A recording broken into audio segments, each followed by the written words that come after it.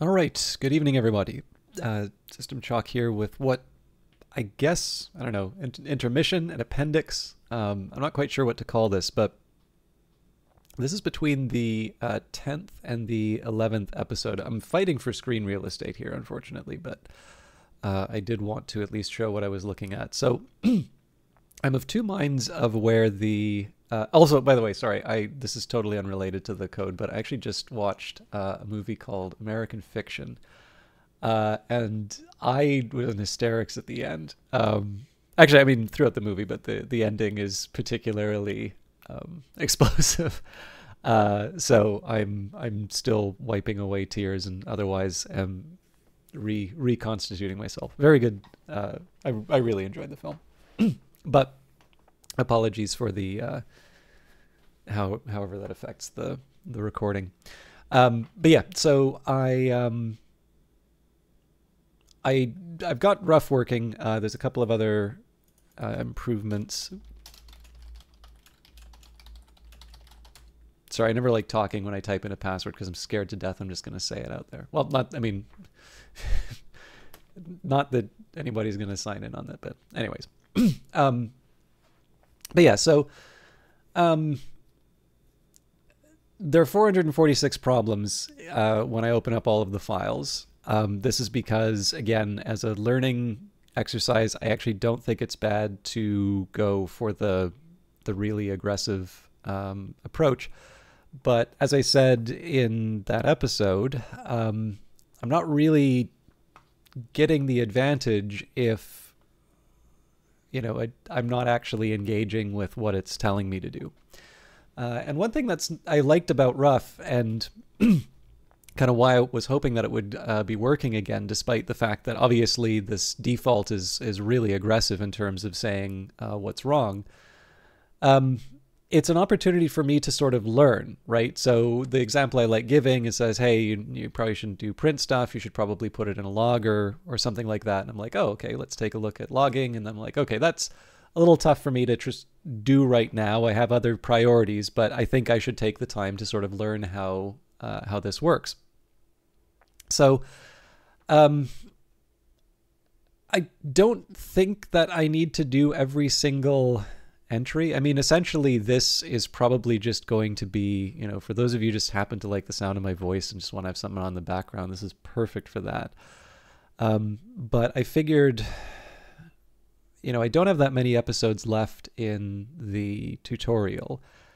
And wouldn't it just be nice that when I do the next part, that I have a smaller number of problems to deal with? So what I did first was I went through all 446 and I broke them down into the um, the individual categories. And as you can see on my very crowded uh, browser on the right uh, right hand side here, we have the errors. and like I said, there's it doesn't just tell you when things are going wrong, but you can actually follow the links and it will say, you know, what it does, why this is bad, and so on and so forth. So this is alphabetically sorted. I no promises that I'm going to get through everything. But uh, what I figured I could do is, at the very least, try to get through the um, the ones that seem to be obvious obvious to fix, and then you know that will you know even if I maybe just go in between uh, recordings or whatever and read up a little bit more on the ones that I don't. Um, I don't have a, a good gr- uh, grasp on, or ones that maybe seem a little too complicated to to do in the context of a video and still be able to complete the tutorial uh, as intended. This seems like a decent little little thing for me to do. And you know, again, like I said, I just saw a good movie. I'm in a good mood, and uh, heaven forbid I, you know, try and hang on. I think OBS just added a pause button. Oh, this is going to be very very helpful for future videos. Um, okay. Anyways. so yeah, this is this is going to be what I'm doing. I'm going to be going through. I haven't ordered. I just alphabetically ordered these. Uh, I'm just going to go through them top to bottom, and uh, we will um, we'll try and learn a little bit more about Python. So missing return type undocumented public function uh, from Flake 8 annotations. Fix is sometimes available. What it does checks that the public uh, that public functions and methods have return type annotations. So why is it bad that? Oh, sorry, I should. Um, so ANN 201. right? So this is just one here. Um, this is main. So why is this bad? Type annotations are good, a good way to document the return types of functions. They also help catch bugs uh, when used alongside a type checker by ensuring that the types of any return values and the types expected by callers match expectation. so this is uh, main here.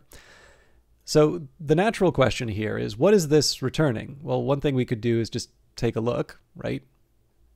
Um, and we call it inside main. So I did make a mistake when I first saw this error. Um, and I was thinking it's like, oh, uh, well, this should probably be like int. Um, and this is sometimes true. There, there are languages in which it returns int. Not here. Uh, I think in this case, it's appropriate to say none. Again, we take a look through this. So we've got a new terminal. Uh, that's our context. We're going inside this. We've got root console, while it's true, um, clear on render, present. Right, we're doing things to the context. Um, we are raising exceptions in certain circumstances, but this doesn't seem to be returning anything. Um, right, this is a function that we've made on our own. It doesn't. It's not returning anything. It would seem to me that uh, this would be all right, so why are you still, okay, missing a doc string. Okay, fair enough. so, and that's it. That's the only instance of this particular, um, this particular issue. So we'll get out of there. So now we're on to 204. A lot of these. Okay, so missing return type for a special method and in 204 fix is sometimes available. Checks that special methods like init, new, and call have return type annotations. Why is this bad? Type annotations are a good way to document return types of functions. They also help catch bugs when used alongside a type checker by ensuring that all that the types of any return values and the types expected by callers match expectation. Note that type checkers often allow you to omit the return type annotation for init methods as long as at least one argument has a type annotation. To opt into this behavior, use the mypy init return setting in your pyproject.toml or ruff.toml final or file. Um, now, what I would prefer to do, right? So this is a this is a question of um, this is a question of learning the the language, right? I don't want to just skip this stuff. I actually want to understand. Um, you know, when I when I call this, um, what's happening. So here, I would suspect that this is still a none. Um, I feel a little, I guess actually,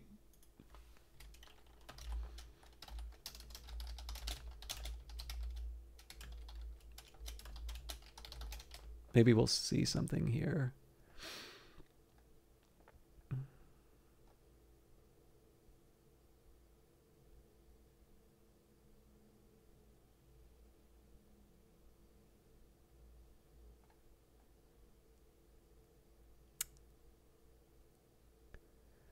I really prefer. Oh. I guess the hack for searches now is just to look for Reddit. So, uh, do you use none in the init? I'm pretty new to this. Just saw this for the first time. Um, I have a Stack Overflow. Okay, well, if it's quoting documentation, um, as a special constraint on constructors, no value may be returned. Doing so will call a type error to be raised at runtime. Okay, so it doesn't like returns, that's fine.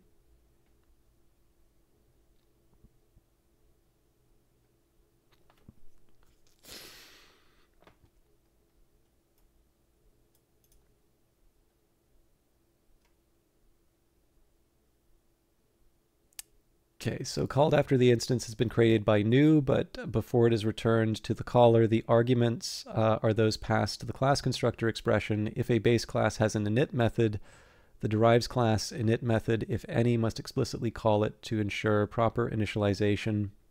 Sorry, to ensure proper initialization of the base uh, class part of the instance. Um, because new and init work together in constructing objects, new to create it, and init, uh, init to customize it. No non-none value may be returned by init. Doing so will cause a type error to be raised at runtime. Okay, so definitely a none. And actually, there's one thing I want to do here um, with main. This is definitely overdoing it, um, but I think each time I make a change, um, uh, you know what, let's make it uh, during a batch of changes, but I should actually probably make sure that um, I don't have any uh,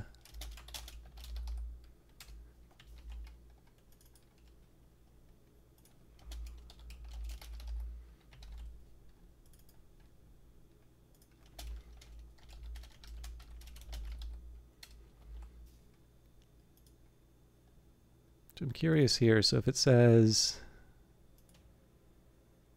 all right.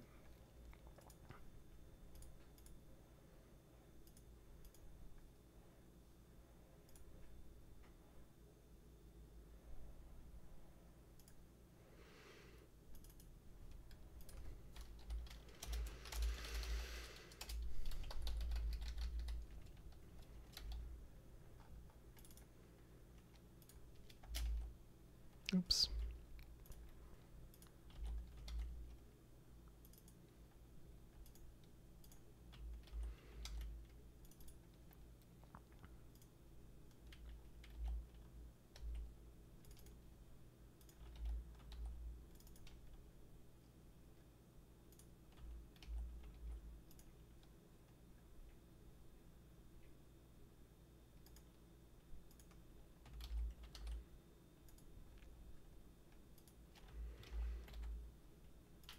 I don't know if this is really any better than using the quick fix, but I'm also not sure typing it out each time is going to do anything other than introduce.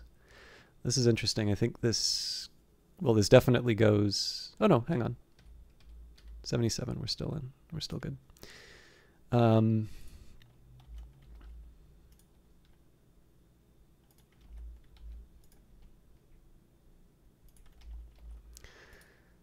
again, I'm fighting for real estate here, so I got rid of the mini map, um, but I did want to keep the notes to self just so I can keep track of uh, these tabs.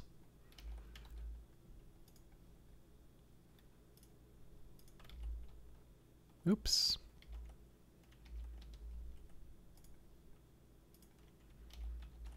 Okay, so that's both of these were pretty straightforward. I'm sort of expecting that we'll have batches of like either too easy or too hard. So we now move on to ARG002. So we've got six of those. Um, checks for the presence of unused arguments in instance method definitions. Now this kind of interests me because it's not like I've been making, um, it's not like I've been making uh, the like the functions myself. So these are ones I would be quite reluctant to change, um, but it would be nice to still take a look and see what's going on so I can have a better idea uh, for myself in terms of what's going on instead. So what it does checks for the presence of unused argument, uh, arguments in instant method definitions. Why is this bad? An argument that is defined but not used is likely a mistake and should be removed to avoid confusion. So we've got an example here, class uh, define foo self arg1 arg2 only prints arg1. So instead we should do uh, def foo self arg1 print arg1. So let's see what's going on here. So yeah, I mean, this is kind of interesting to see an unused event. Now, one thing I'm a little curious here is if um, so ev quit, we are, I believe we're uh, implementing this for vent dispatch. There's got to be a way that I can... Yeah.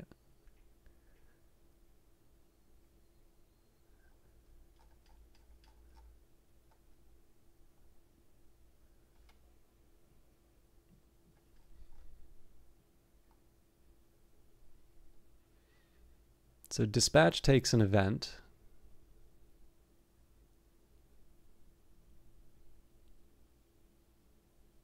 Hmm.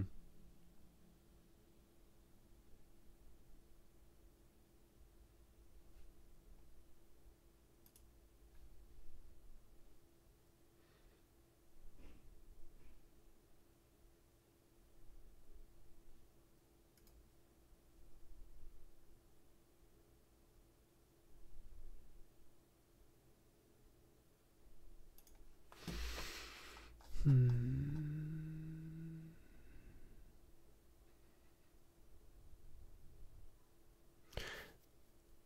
So, yeah, it would seem to me like we're not like. I think uh, is this overloading? I don't think no. I think it would be overloading if it had different um, different arguments. Like so, to me, this is I guess the analogy would be implementing an interface, right? So ev quit has self and event, um, and in this case, we don't have an event to be used um, we don't use it inside raise system exit. And frankly, I don't see any reason to, um, you know, I don't see any reason to like artificially use the event in here. I am a little curious um, how I would handle a situation like this where I'm trying to implement, you know, trying to implement something else so this is an example of the sort of thing that I would leave aside. I would, this is a, a good example of something I'd sort of like to make. Oh, actually, here's what I'm going to do. So we're going to um, spike these.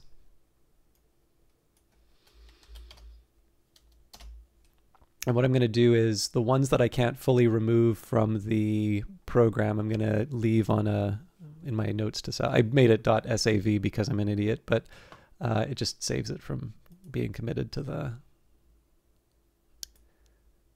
to the repository. So I can't see a situation here where I would want to use these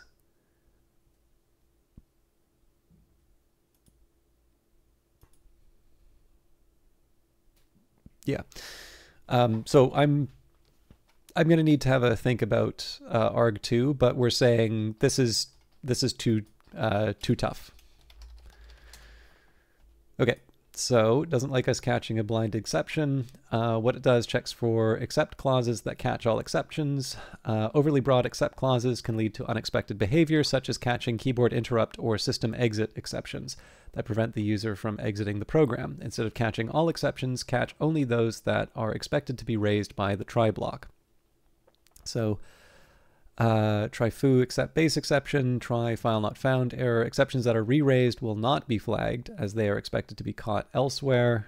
Um, exceptions that are logged via logging.exception or logging.error with uh, exc_info enabled will not be flagged as this is a common pattern for propagating exception traces.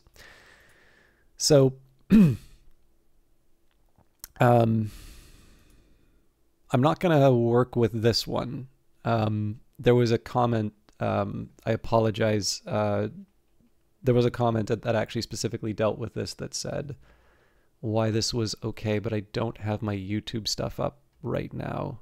So I think in the name of time, I'm going to leave that aside. But I believe so. Uh, you know, again, this is the nice thing about this being part of an event and community members coming in and uh, talking about me. But I believe there is a um, there is an answer to this as to why this is acceptable. Now, maybe I want to change that, right? It would be nice if I had a bit of an idea in terms of the types of exceptions I was expecting from the program. But um, for now, I will leave this aside. And maybe what I'll do is I'll start saying that, you know, these extras here are, um, are going to be uh, extensions, right? Um, it'd be nice if I added new things to the roguelike, but maybe that's one way for me to handle it. Okay. So bugbear, which makes me think that this is not going to be critical. Uh, checks for unused variables and loops, for and while statements. Why is this bad? Defining a variable in a loop statement that is never used can confuse readers. If the variable is intended to be unused, e.g. to facilitate the uh, destructuring of a tuple or other object, prefix it with an underscore to indicate the intent, otherwise remove the variable entirely. So for ij and foo, bar i, um, and then instead we can underscore. So I'm okay. Um,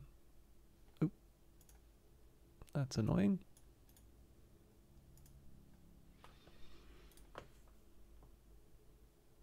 Yeah, I mean, I could just do this too.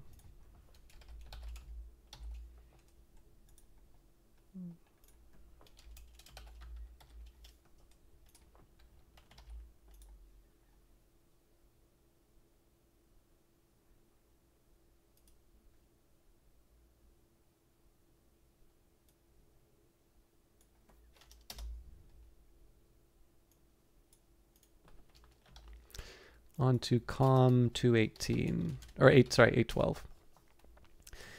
All right, um, checks the absence of trailing commas. The presence of a trailing comma can reduce uh, diff size when parameters or elements are added or removed from function calls, function definitions, literal, etc. So this is almost certainly added by me.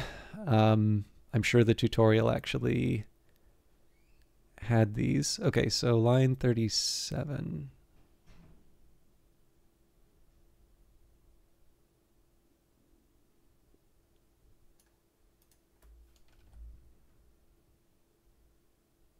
Okay, let me clarify here. So we've got 3789. Really?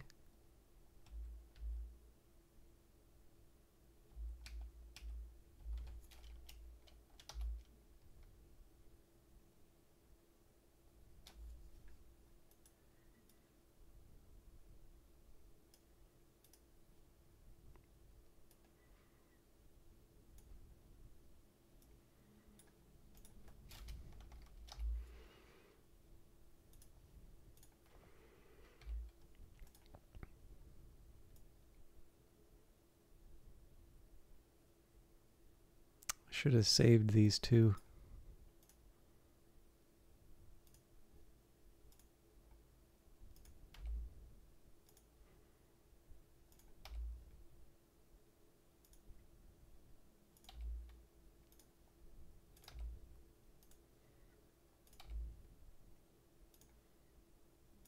thinking a few of these might be um, may not be in the the tutorial.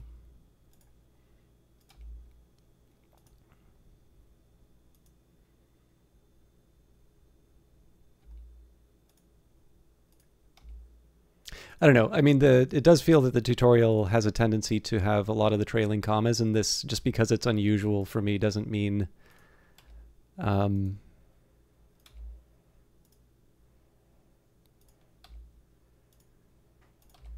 like doesn't mean I shouldn't do it. So I'm going to follow the recommendation and see where it takes us.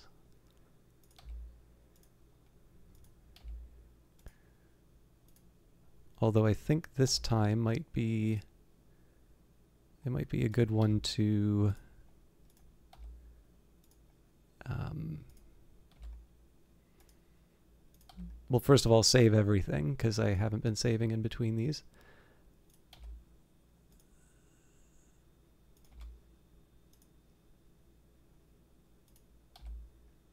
Okay.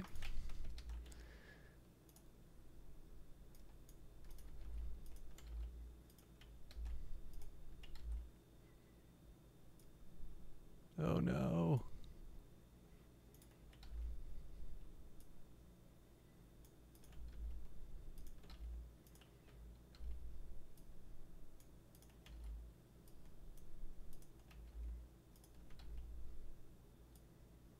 I also think the fact that I'm saving is probably also doing some of the automatic formatting, so we might get some very exciting changes coming in. Okay, well we don't need get ignore.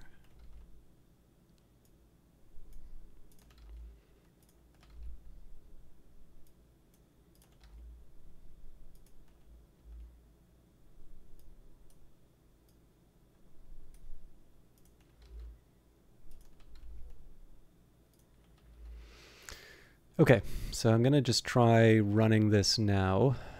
Um,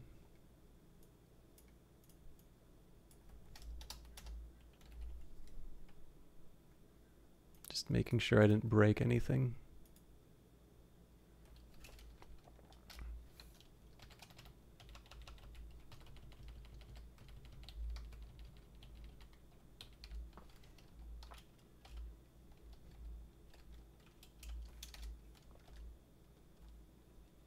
Okay, I did need to hit escape twice, so let's just see.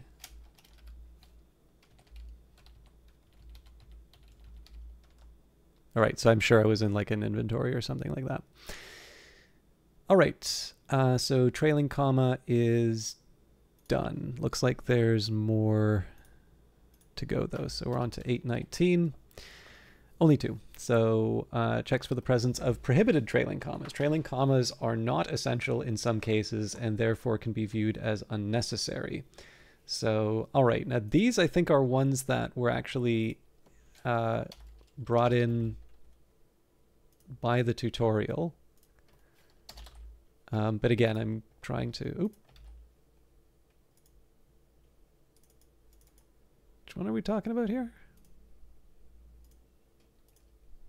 Oh, fair enough.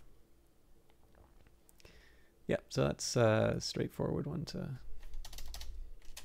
to take out. Okay, so we're out of comma land. On to D100.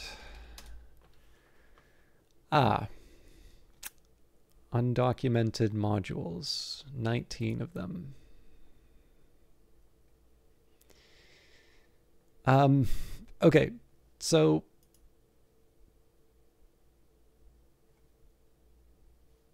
first of all, shame on me. Open this window first. Okay. oh,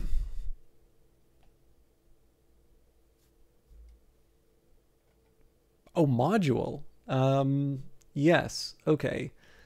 Well, let's read this out. I think I'm actually going to skip over this one for now. Um, I actually think this would be a good exercise to to do because that sort of involves me explaining specifically what these things are doing. But I also think that this would be, um,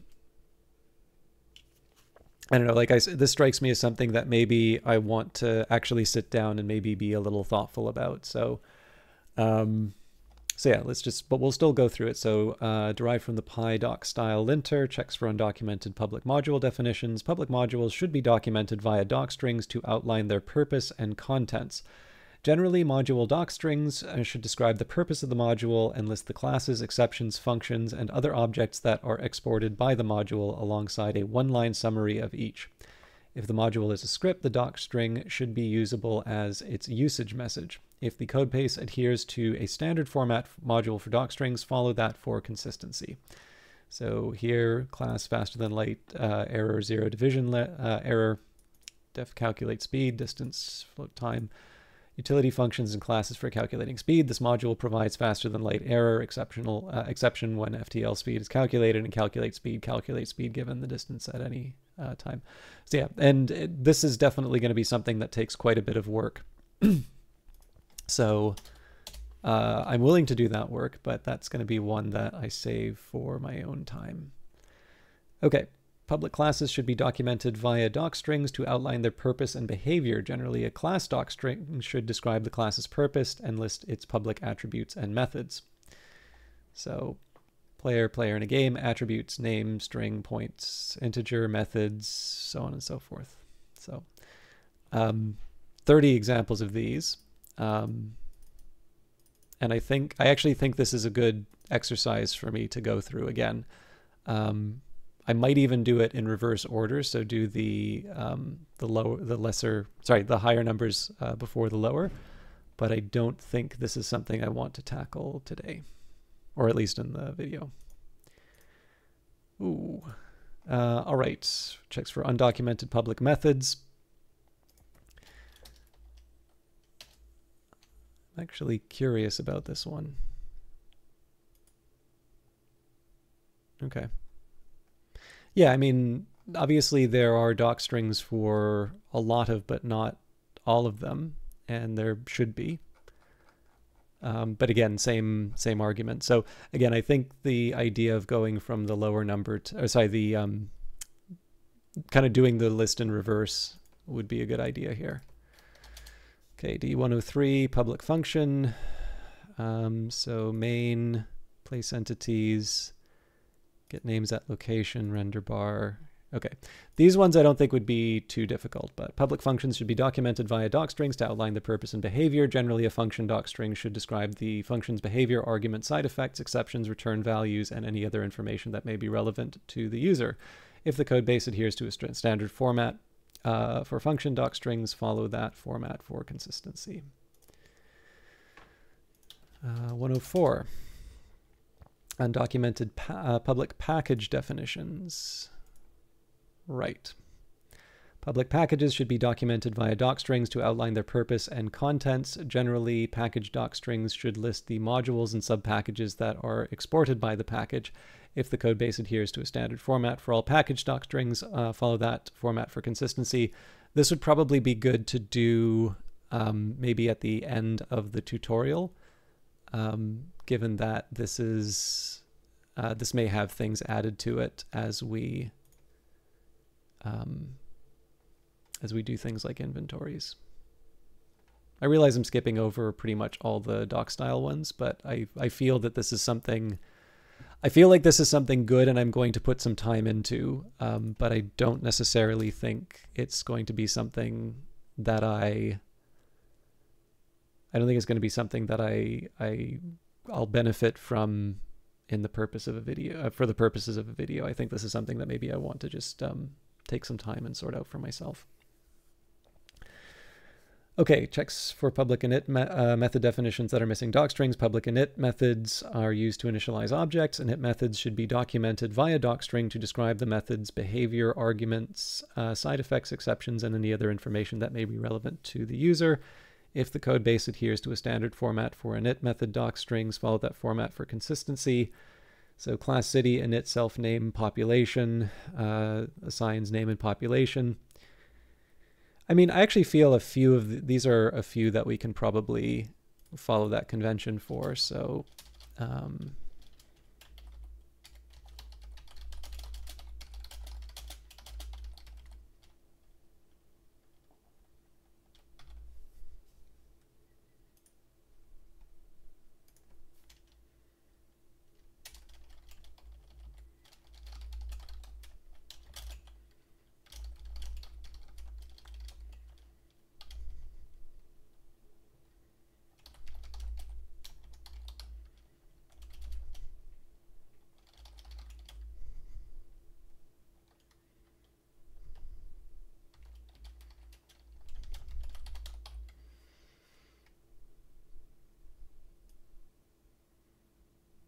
This isn't really a one-liner.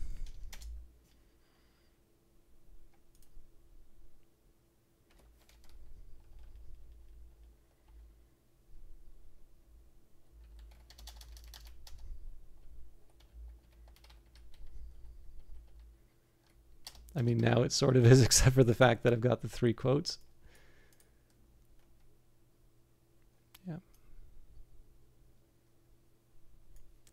Something for me to deal with later.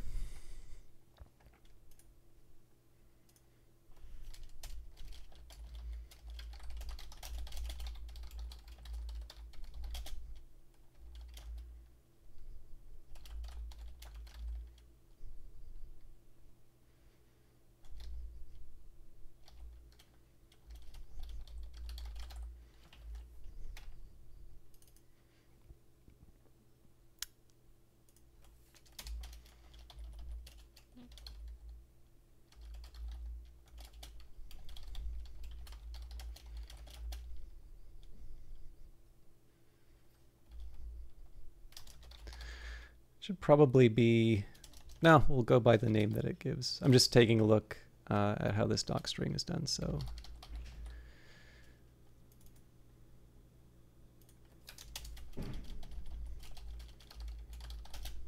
The only thing here, right, is that if I've got this formula of, you know, initialize with a arguments here, there's sort of an argument to be said, or parameters, I guess these would be called, there is sort of an argument to be said. It's like, well, what exactly is this doc string providing that looking at the, um, you're just simply looking up here would do? And I, I'll be honest with you, I actually don't have a good answer for that.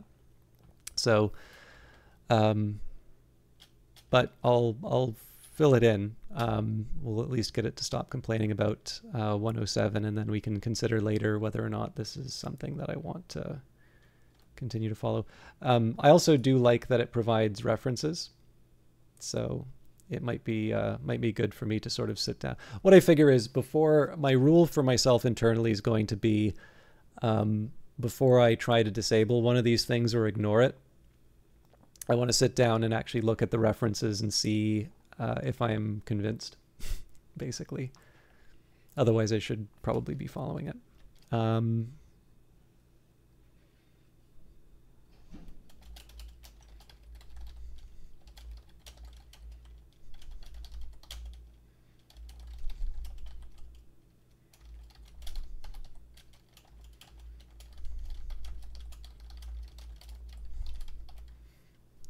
definitely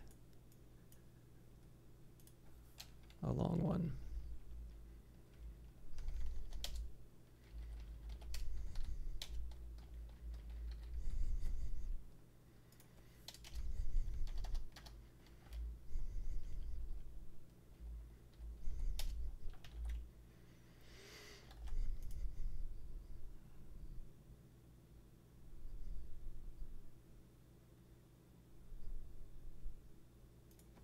Really?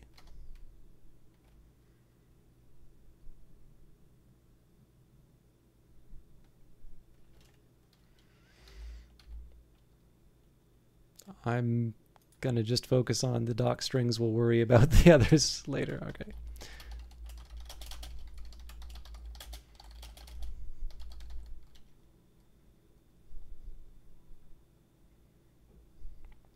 Um, Hmm. You know, this one I'm going to leave alone because I need to remember exactly what the path. I'm pretty sure the path. Oh, right. Actually, no, I don't need to.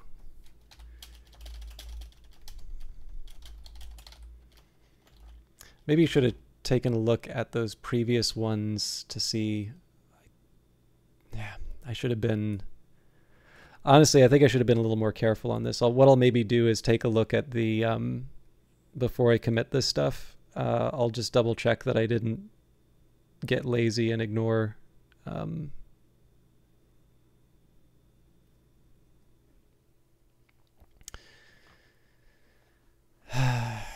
yeah. I don't know. I should probably double check that I didn't miss cases like this.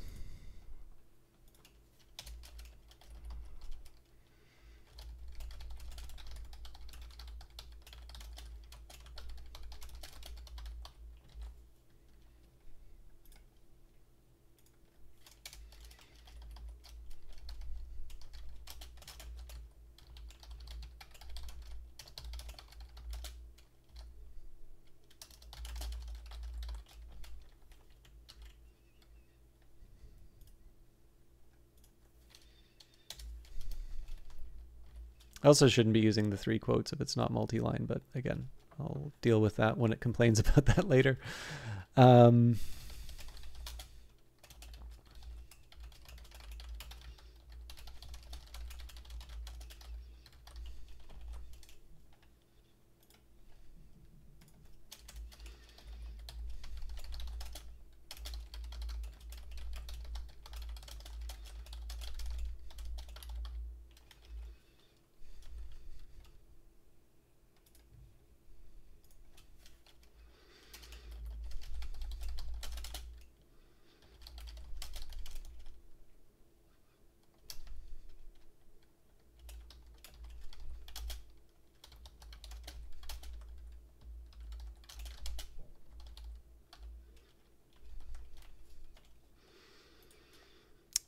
Okay.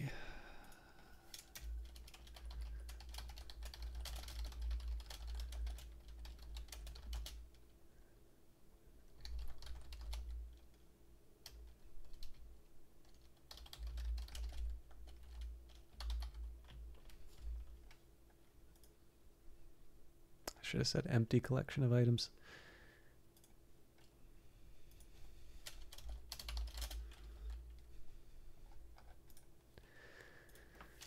Okay.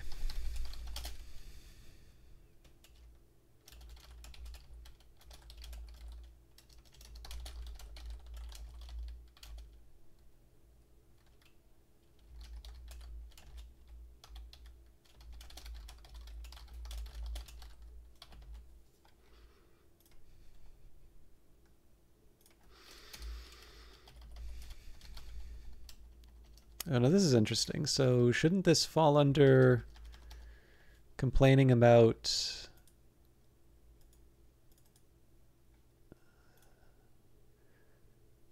I feel like this should be a different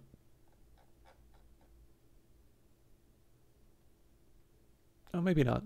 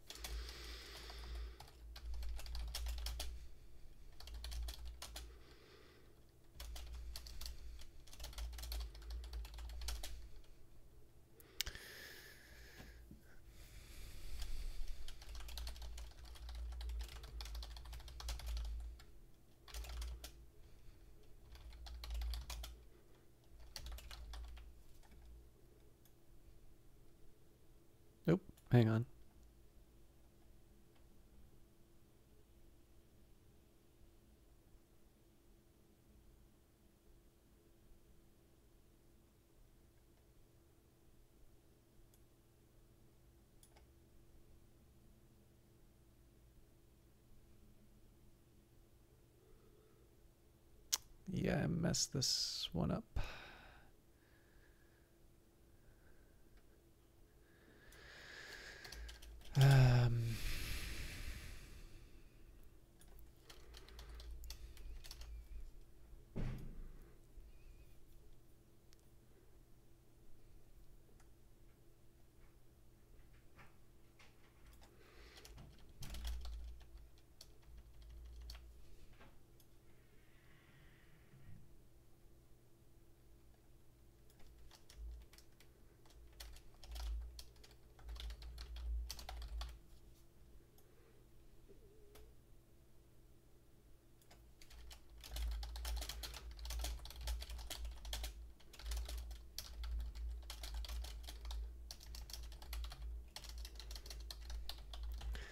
Again, it's going to yell at me for length, so I'll get a second chance at this one.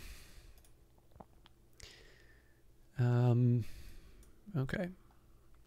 So what I need to stop doing is looking at this and actually look at what. So I've kind of answered my own question, right? The doc string should be based on this, not this.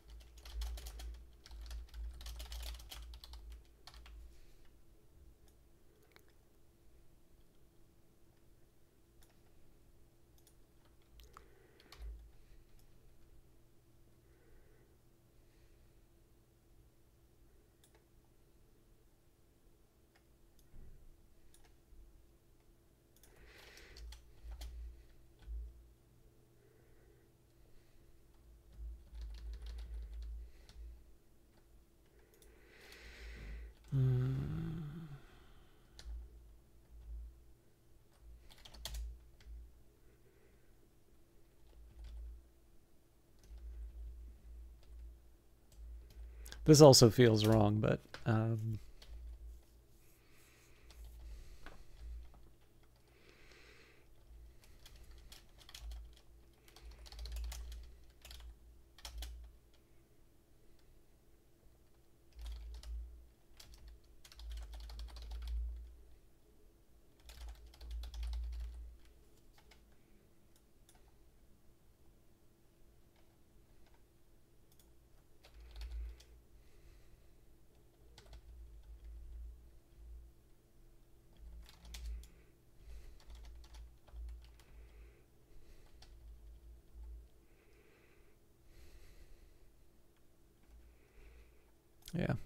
doesn't feel good.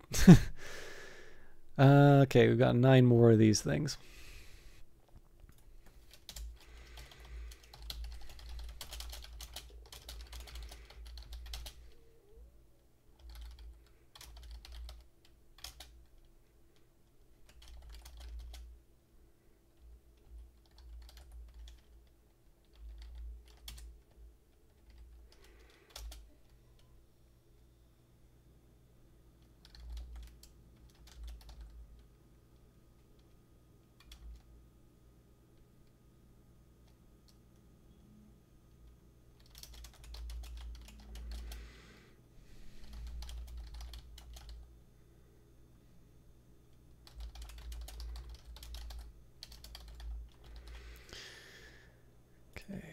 Um, pop up.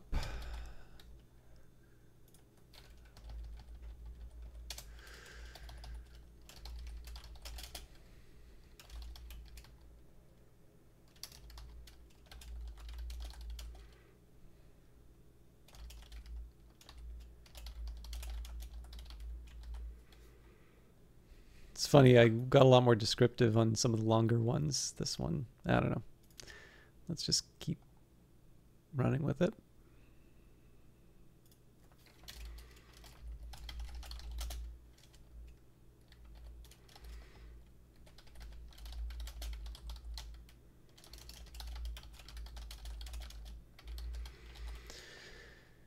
One of the things I can do too is take a look at how um, sort of another library does it. So I mean, one option I have is just to take a look at um, TCOD and see how they handle things like uh, init, and then um, try to adjust accordingly. Right now, this is just a matter of trying to um, sort of try and work through the uh, the different messages. Okay. Um,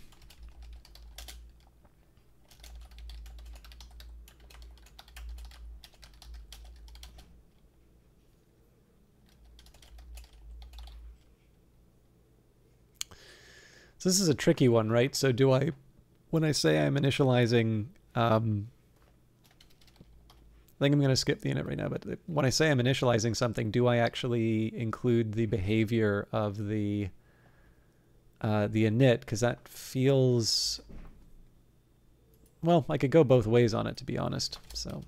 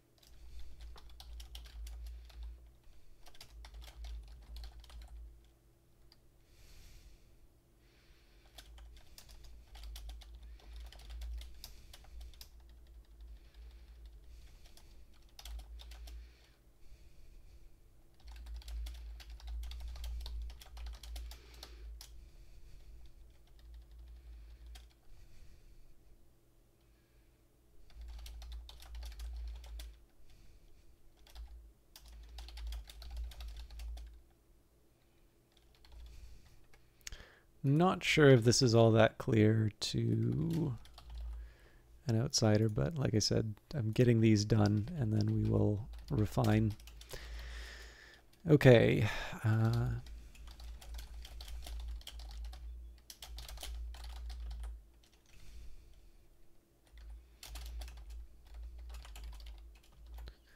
So technically 107 is done and we can delete that from the list, although we may return uh, we may return to it for um,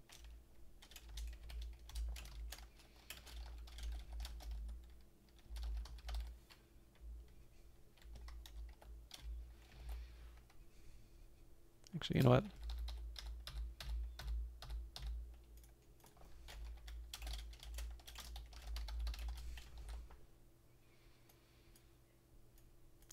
So that did take a while, so I'm definitely going to... Okay, no, we've got this. One line docstring should fit on a line. Okay, checks for single line docstrings that are broken across multiple lines. PEP57 uh, recommends that docstrings can fit uh, that can fit on one line should be reformatted on a single line for consistency and readability. So three, one, three. So in this case,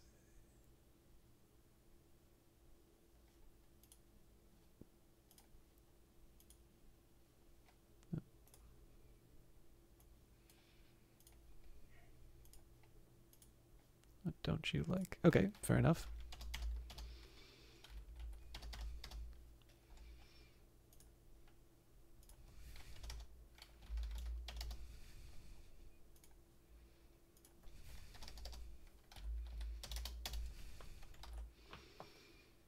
Yeah, this is going to yell at me for being too long now, but all right. Save that for a separate complaint. 205 um, checks for docstring summary lines that are not separated from the doc uh, string description by one line. PEP uh, 257 recommends that multi-line docstrings consist of a summary line, uh, just like a one-line docstring, followed by a blank line, followed by a more elaborate description. Aha. Okay.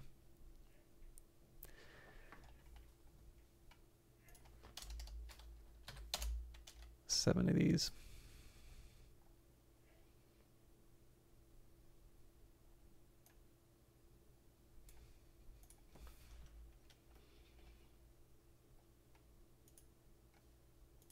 Really, that's in the class.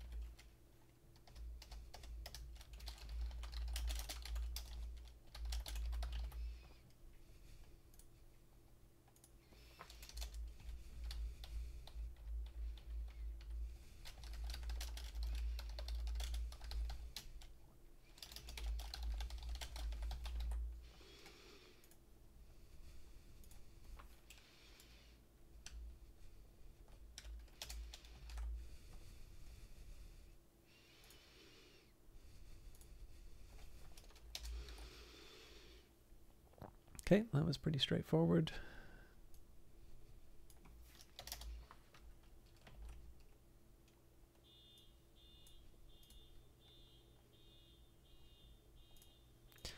Multi-line summary first line. Uh, checks for docstring summary lines that are not positioned on the first physical line of the docstring. PEP 257 recommends that multi-line docstrings consist of a summary line, just like a one-line docstring, followed by a blank line, followed by a more elaborate description.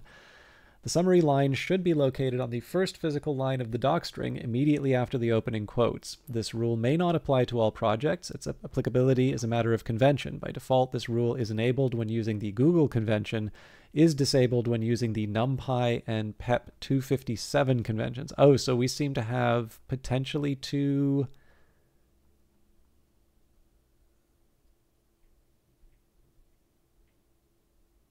Oh,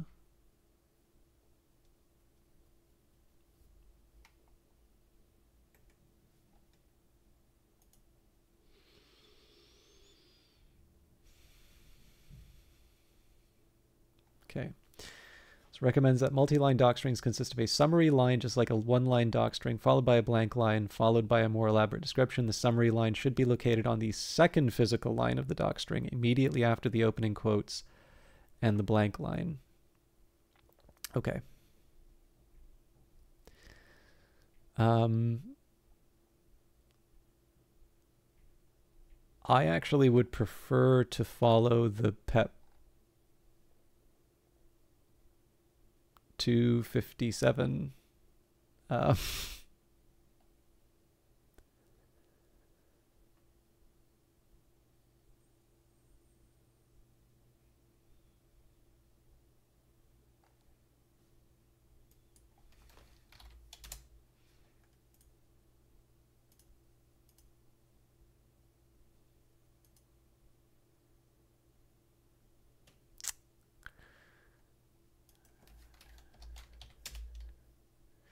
Well, you know what? Okay, let's say when in Rome, it's going to be, if I'm consistent, it'll be easier to um, to convert in future.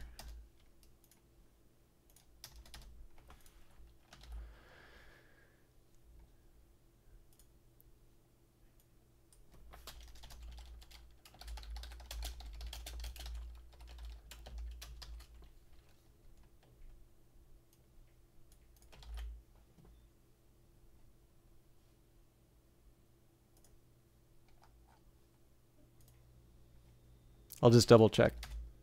Yeah, no D13. Okay, ends in period. Checks for docstrings where in which the first line does not end in a period. PEP 257 recommends that the first line of a docstring is written in the form of a command ending in a period. This rule may not apply to all projects. Its applicability is a matter of convention. By default, this rule is enabled when using NumPy and PEP 257 conventions and disabled when using the Google convention.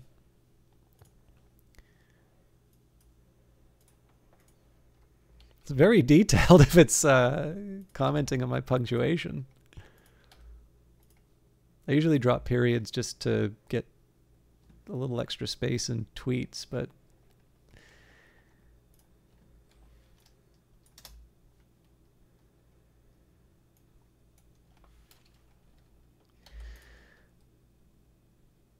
Okay, 401 uh, checks for docstring lines that are not in an imperative mood. Wow, okay.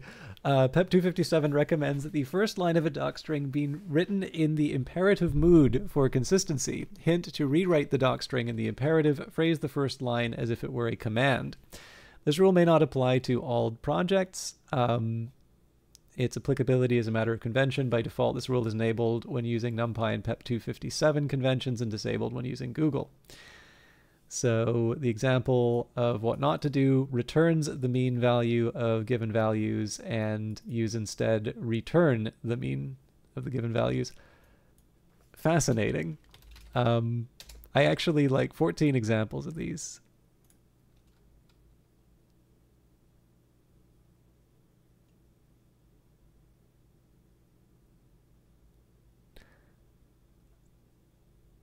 I believe this is the imperative.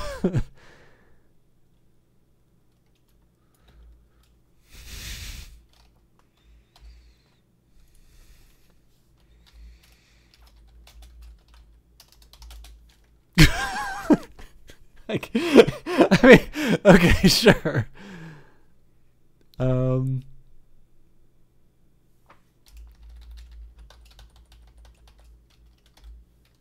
No, this is stupid. Um.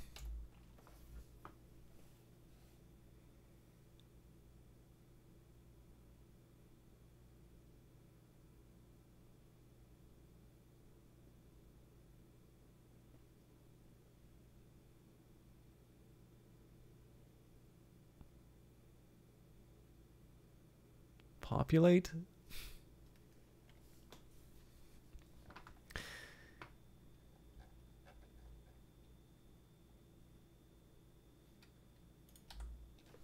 If it says initializes. Yeah.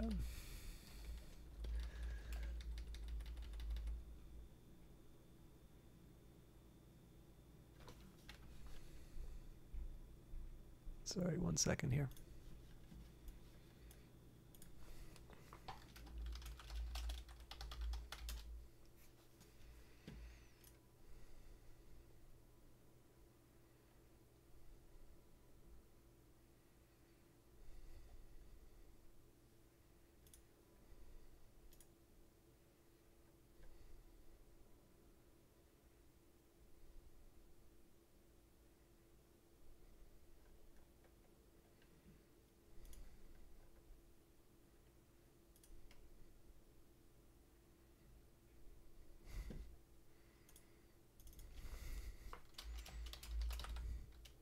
Sure, prepare.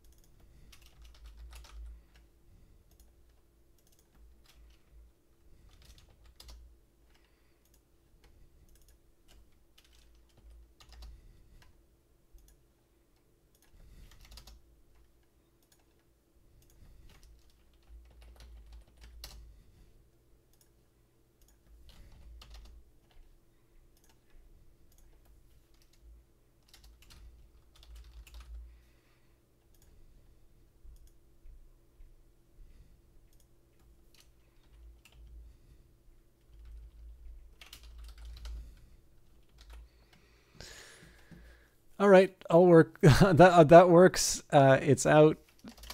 I'm definitely going to need to adjust some of these doc strings after the fact, so I, there is a question as to whether or not this is a good use of my time, but that was also slightly amusing. Okay, checks for doc strings that start with this. PEP 257 recommends that the first line of a doc string be written in the imperative mood for consistency. Um,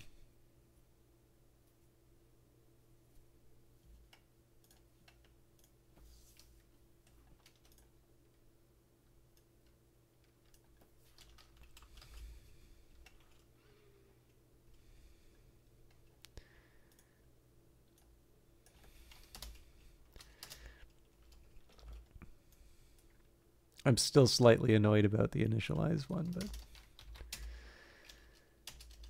uh, apparently 415 is no longer an issue. So ends in punctuation checks for doc strings in which the first line does not end in a punctuation mark, such as a period, question mark, or exclamation. okay, so exclamation marks points would have worked. Uh, the first line of a doc string should end with a uh, period, question mark, or exclamation point for grammatical correctness and consistency. This rule may not apply to all projects. Applicability is a matter of convention. By default, this rule is enabled when using the Google convention and disabled when using NumPy and PEP 257.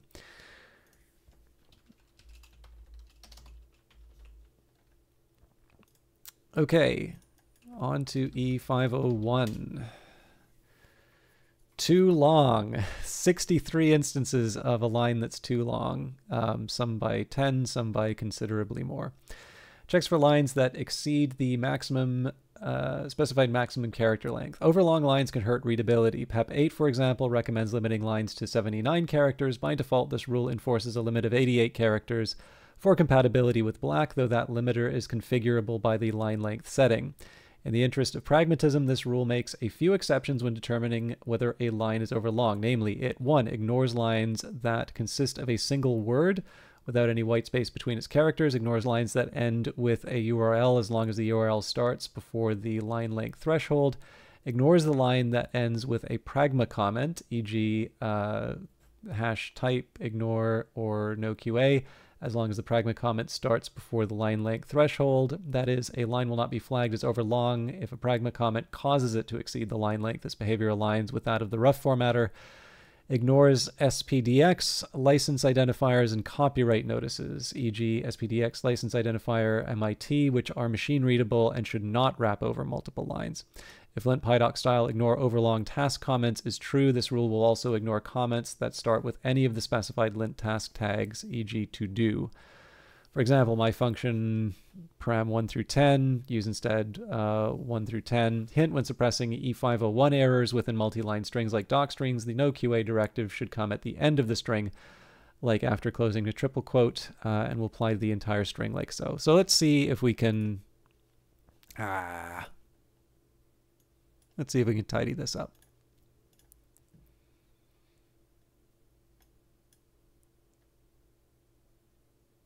Oh, this is an easy one. Okay, so it's not going to let me, it's not going to have an automatic fix, sadly. Um,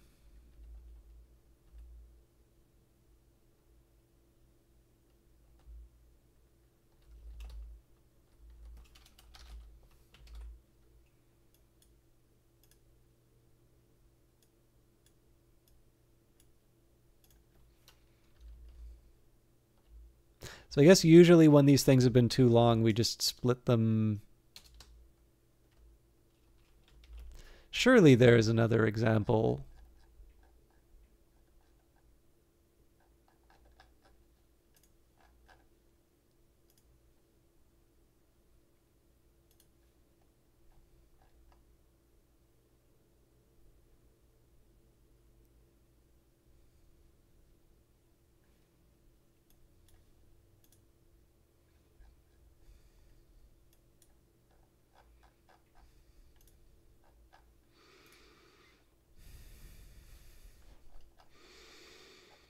Hmm. Near certain I've seen an example of like a long one. I'm just trying to figure out if it always goes one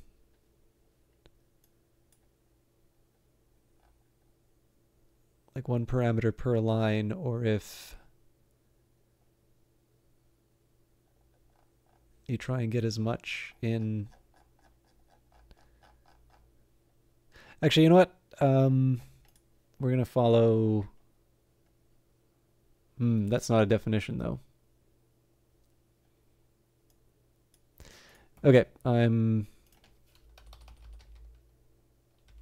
minimizing the number of new lines, so...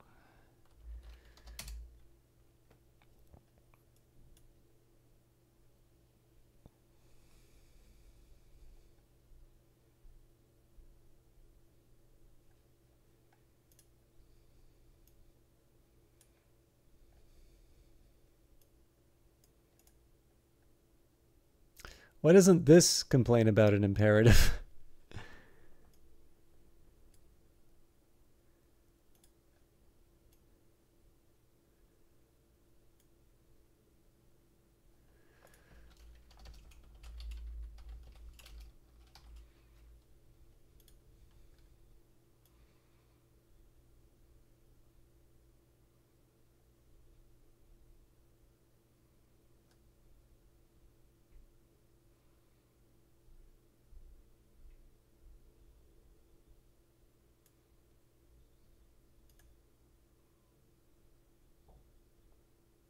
I'm actually not quite sure what this means. So invoke the item's ability. This action will be given to provide context.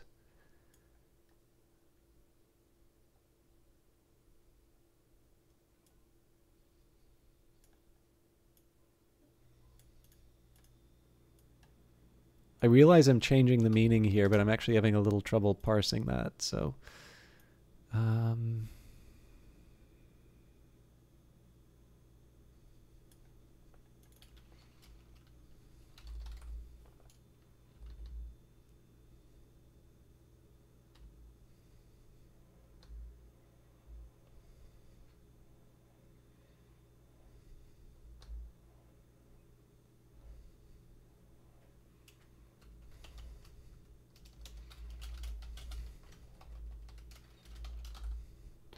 So following what I'd said before, am I still...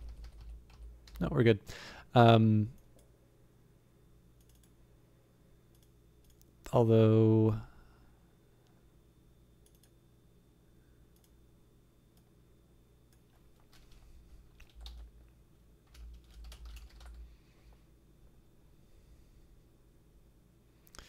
because it's changing. Uh, yeah, anyways. Ooh, this is a tricky one. Um,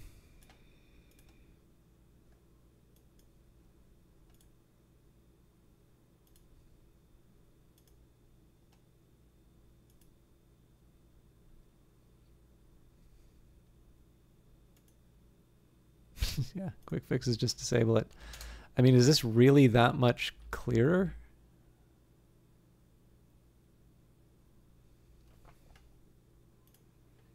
I always hate it when it's one. Yeah, this is these are the ones that just do my head in. Um,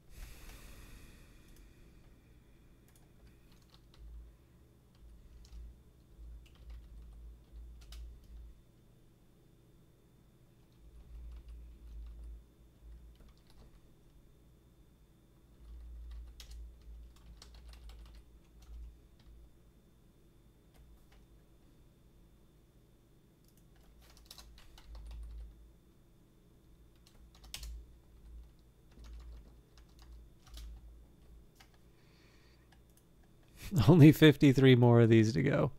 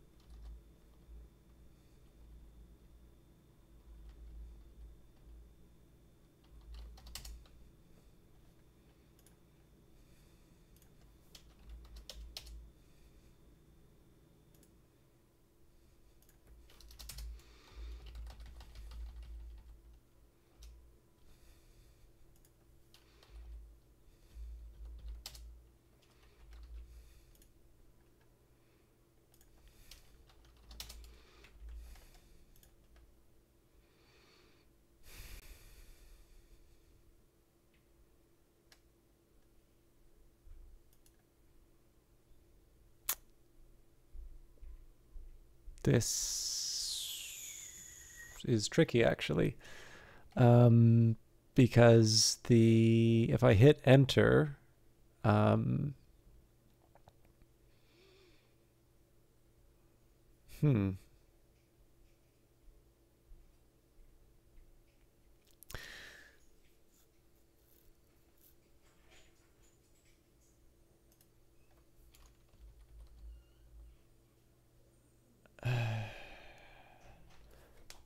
I mean, there's a way I can like stitch together the string here, but this feels really. This, this is I actually.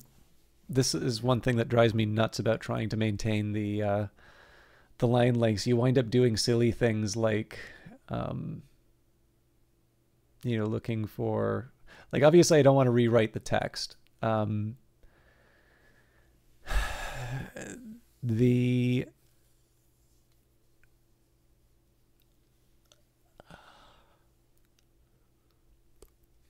Yeah, you know what? I'm skipping this one. I will learn. Oh boy. Um,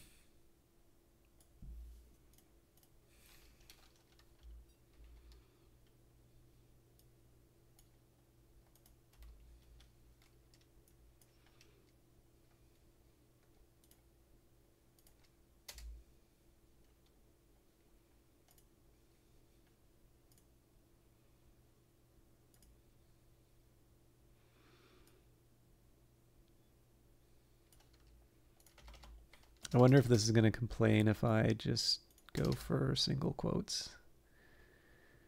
I hate you. Um,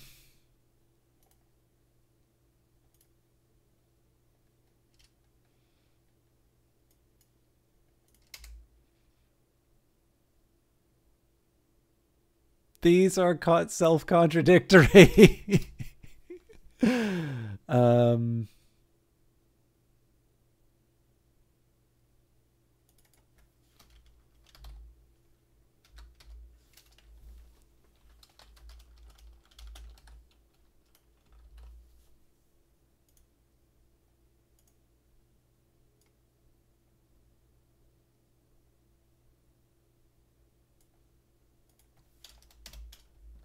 I notice uh, it didn't didn't um, the restore it to the game map. I guess didn't quite fit the uh, um,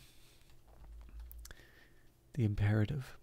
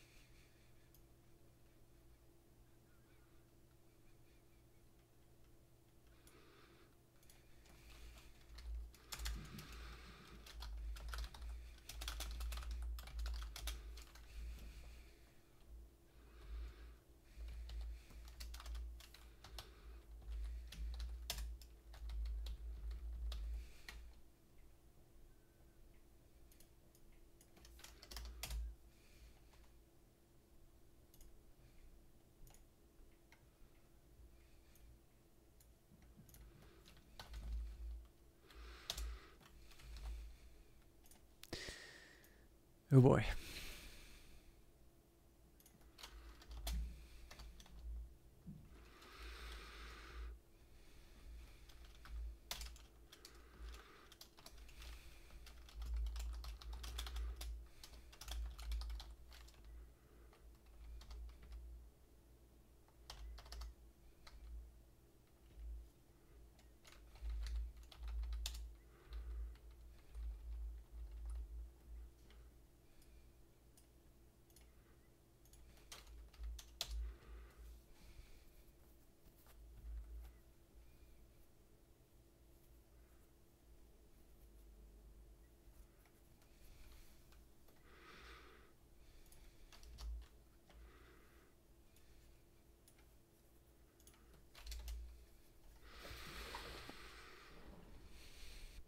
Again, I still feel a few of these could be doing better in terms of the um,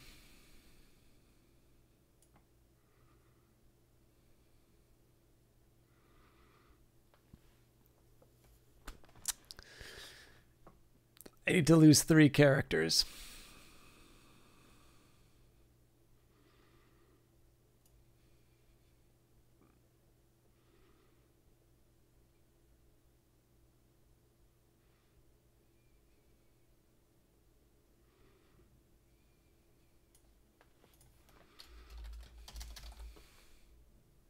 Almost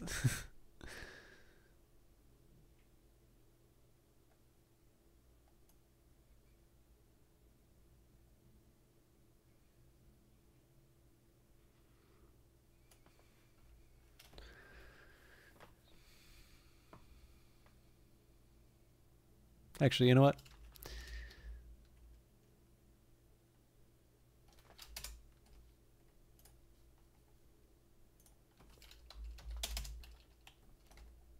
This is fine.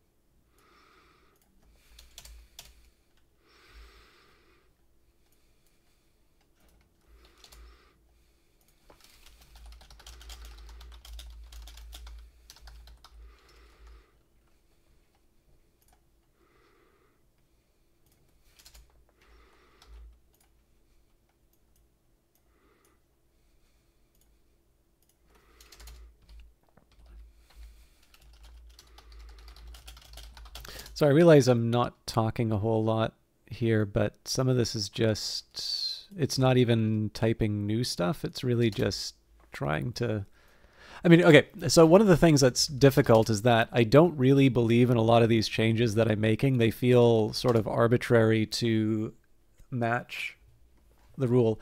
And it's not even that I think, like, so I think, you know, it's good to have a line limit and it's good to, um, you know, it's good to try and keep that consistency. But like I said, there were a couple here where it was just like it's a bridge too far in terms of nonsense. Um, so I left them. But even some of these marginal ones, I'm like, okay, you know, I can create the I can create the divisions. You know, I'll dance the dance, but it still feels a little weird. So now, surely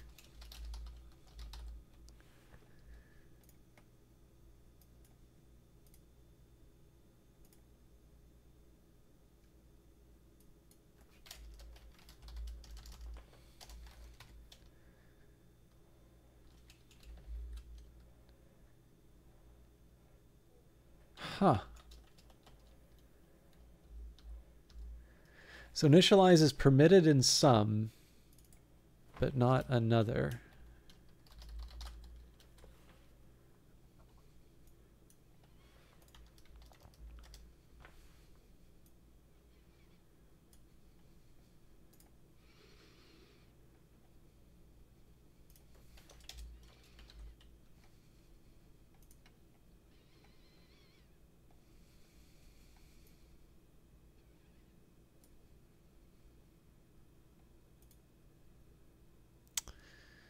Uh, there's a.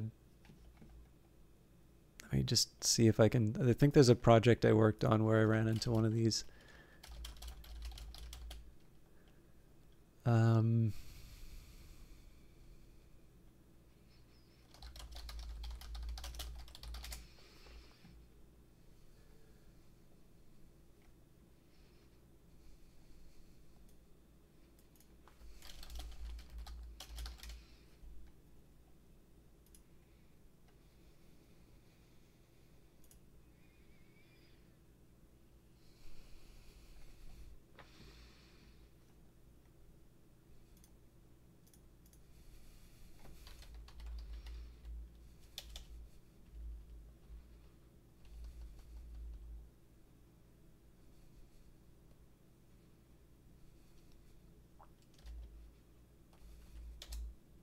I guess will uh, this will do.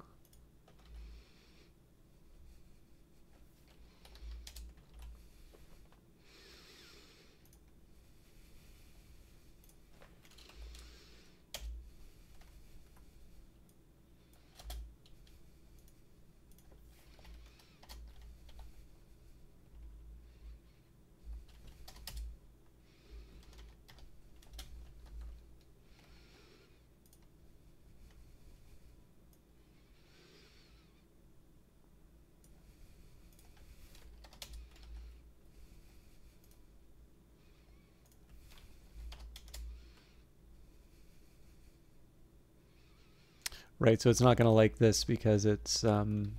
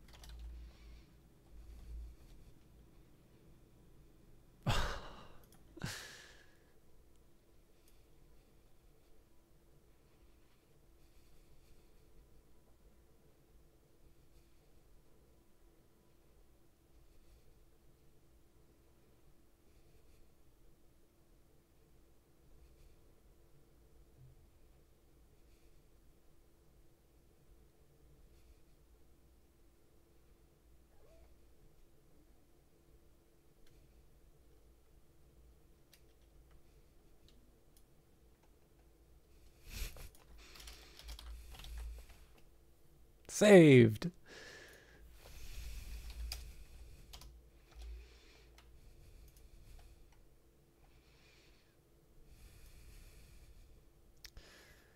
Okay. Um,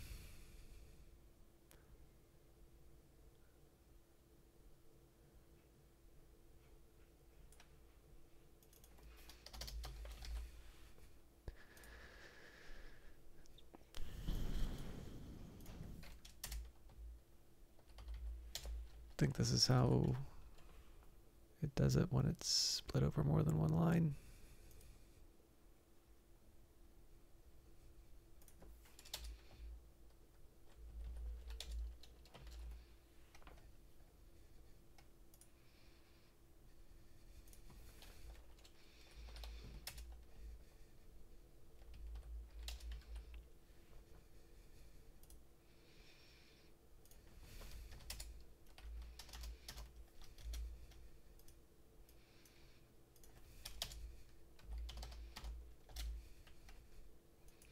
It would be wonderful if there was some kind of um,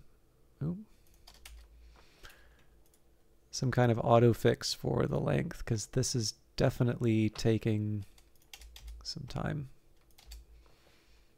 Whoopsies. There we go.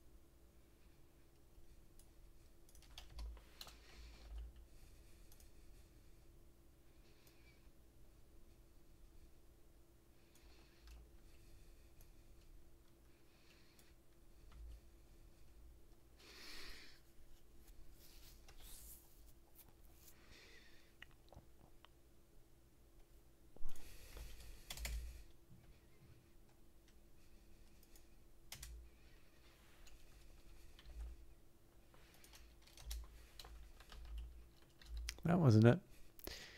All right, what don't you like? Trim the surrounding white space, fine. Okay, there we go.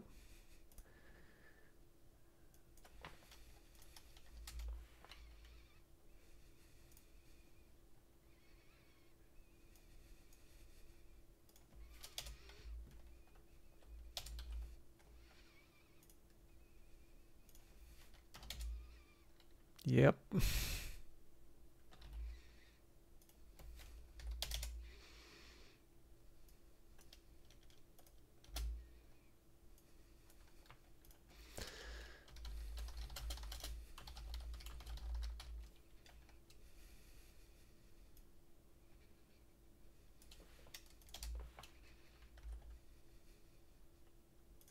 All right, what I'm assuming there's a lot that you don't like. First line of doc string, of course.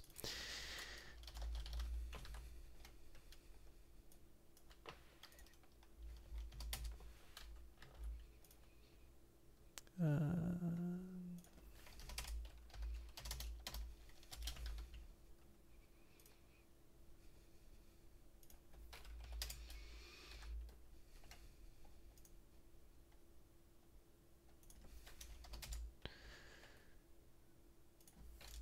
Only a few more of these.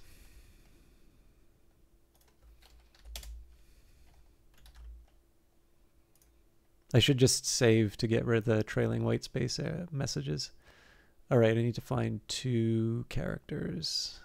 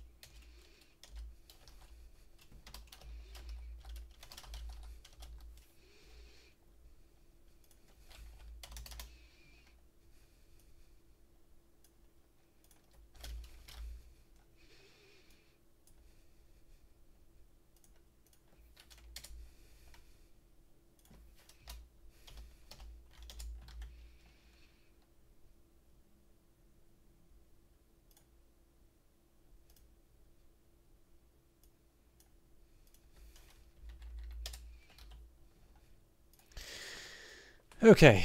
Um, I think the rest of this should be pretty straightforward.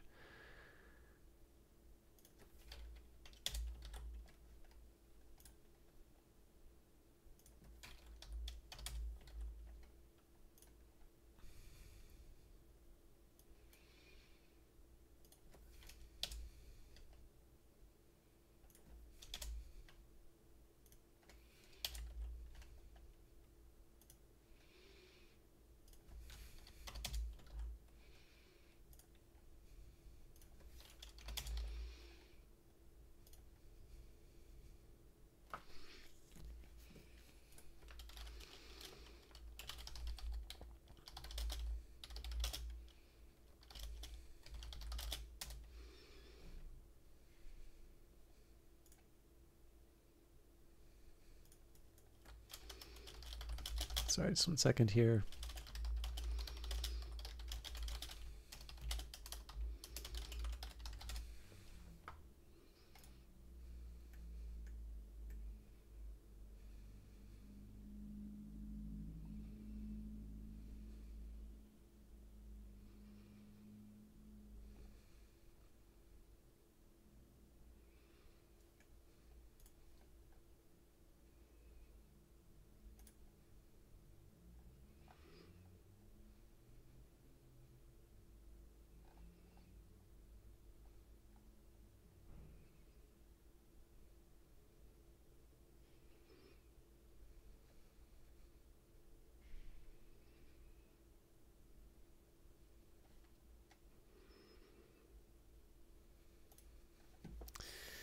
I was trying to think of a way to handle the extra, the two long lines here, but I think I'm just going to settle for, is this the right way to do this?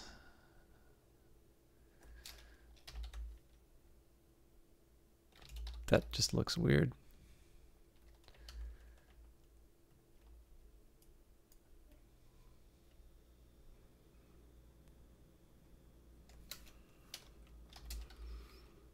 Well, I mean, it's consistent as much as I hate it.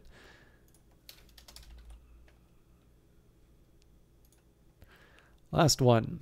Um, okay. It's not pretty. Oh, never mind.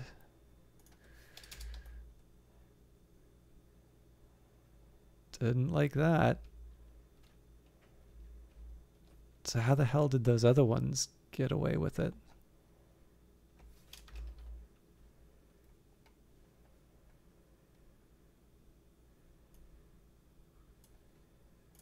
Okay, I'm gonna try something.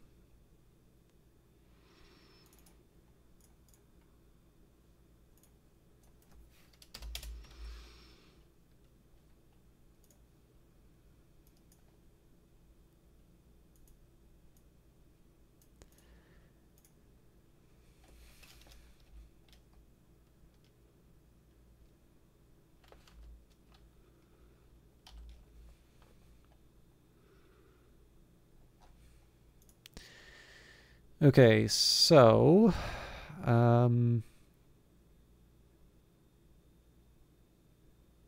yep, this was fine. That's an expected error.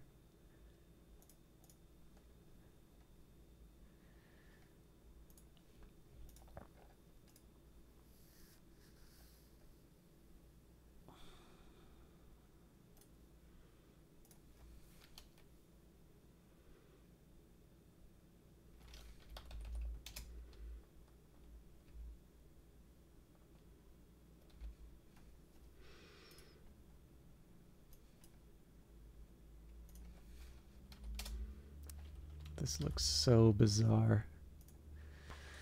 All right. Well, we cleared them out. Um,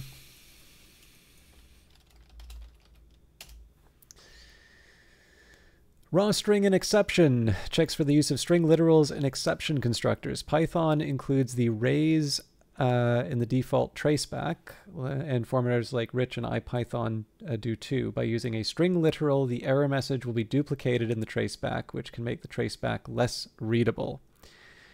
Uh, so an example, raise runtime error, some value is incorrect. This will produce traceback most recent call last file temp.py in line 2.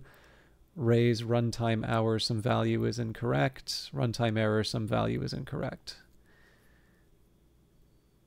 So instead we assign this string to a variable. Some value is incorrect. I don't actually see why this is all that bad, but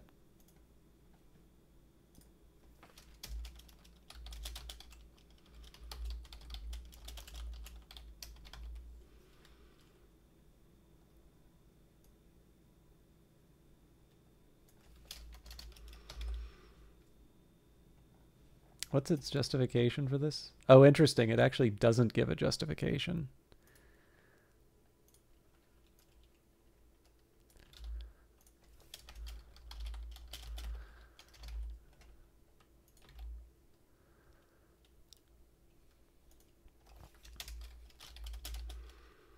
I mean, this that that in particular is um,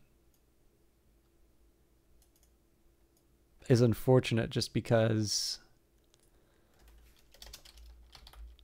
um like this is being used to um to give message to the player. We don't actually expect this to show up in the traceback.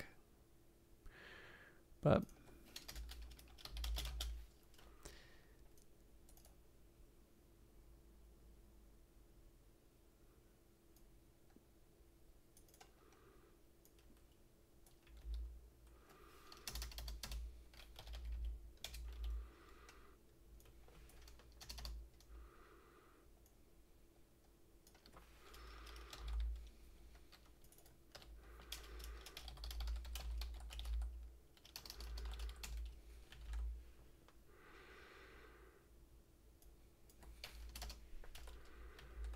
Seems a little more sensible.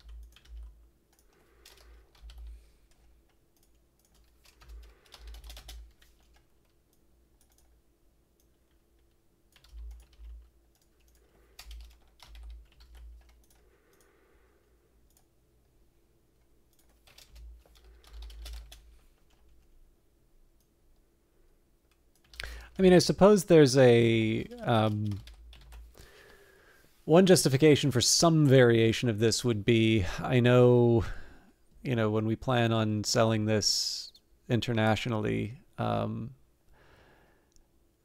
these messages would be put into a file of messages and so that it's easier to sort of, sort of switch them out um, in terms of dialogue. So I suppose um, it doesn't hurt to have these in variables anyway. Just this current solution is a little, feels a little excessive. Still. I'm not confident enough to start messing around with what it does and doesn't tell me. Um, and if I'm not going to do that, then,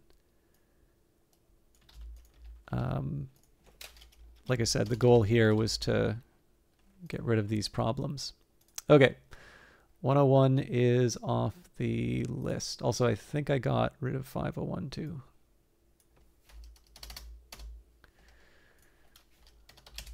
On to 102. There's only one of those. Um, exception must not use an f string literal assigned to a variable first. And what's interesting here is that we don't need the f string. Uh, so what does it do? Checks for the use of f strings and exception constructors. Uh, constructors. Why is this bad? Python uses the raise uh, in the default traceback, and formatters like Rich and IPython do too. By using an f string, the error message will be duplicated in the traceback, which can make the traceback less readable. Of course, the drawback here is that we just introduce another uh, complaint. So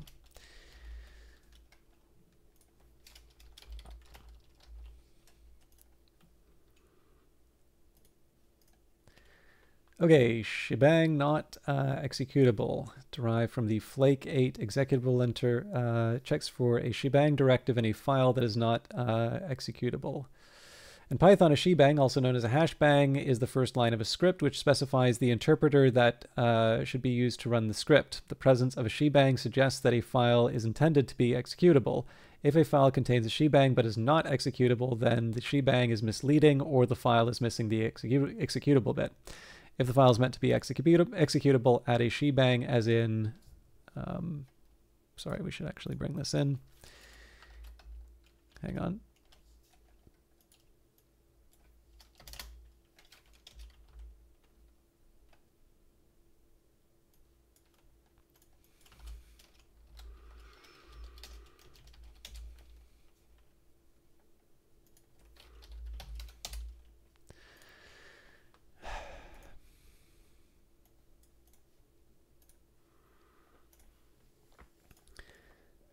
Okay, user bin and Python. Otherwise, remove the executable bit from the file. If a file is considered uh, a file is considered executable if it has an executable bit set, I, its permissions uh, mode in, uh, intersects with 0111 as such. This rule is only available on Unix systems and is not enforced on Windows. Um, or WSL. Okay, so it would seem to me um,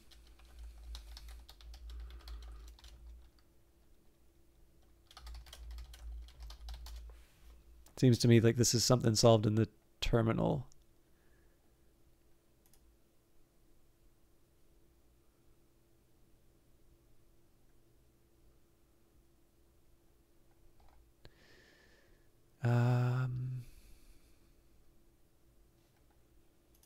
I know this is a CH mod. It actually it might be the same as. Okay. Um,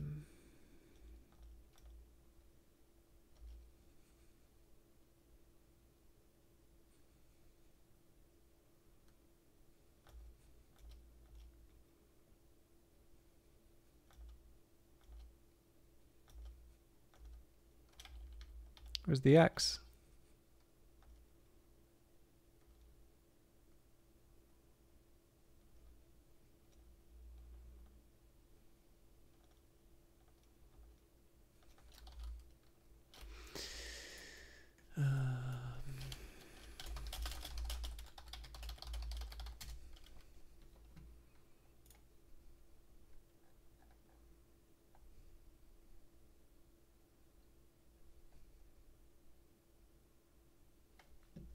Yeah, it's plus. Okay.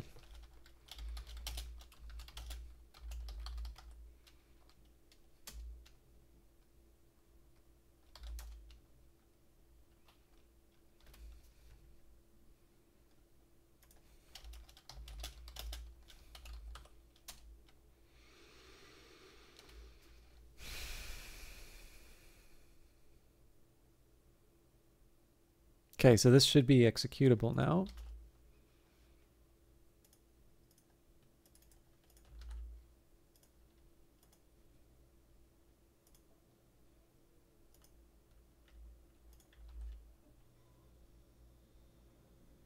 Cool.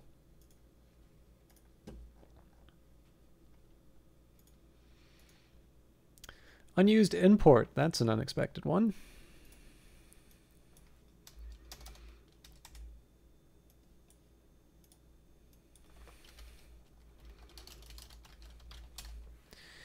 Entity.entity .entity is imported but not used.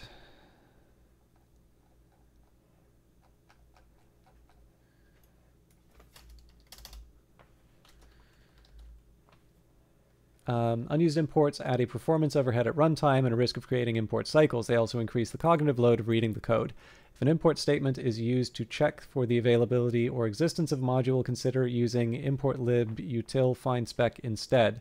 If an import statement is used to re-export symbols as part of a module's public interface, consider using a redundant import alias which instructs Ruff and other tools to respect the re-export and avoid marketing it as unused as in from module import member as member. Alternatively, you can use the all to declare a symbol as part of the module's interface, as in import some module all equals some module. Um, fix safety.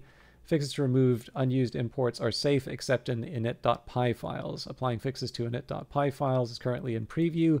The fix offered depends on the type of unused import. Ruff will suggest, actually, hang on, let's see what the suggestion is.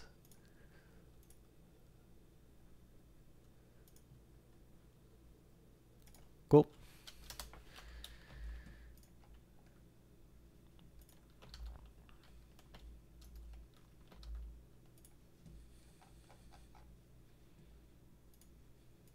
I'm sure I this is something that the tutorial already covered and I forgot.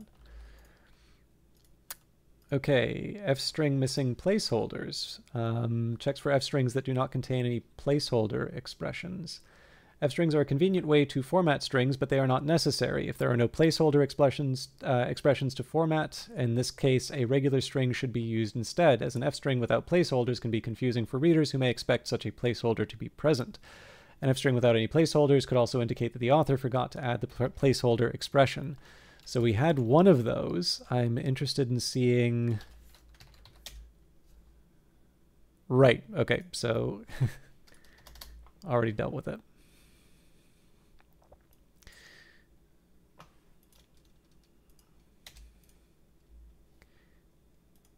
FA100 um, checks for missing from future import annotation imports upon detecting type annotations that can be written more succinctly under PEP 563.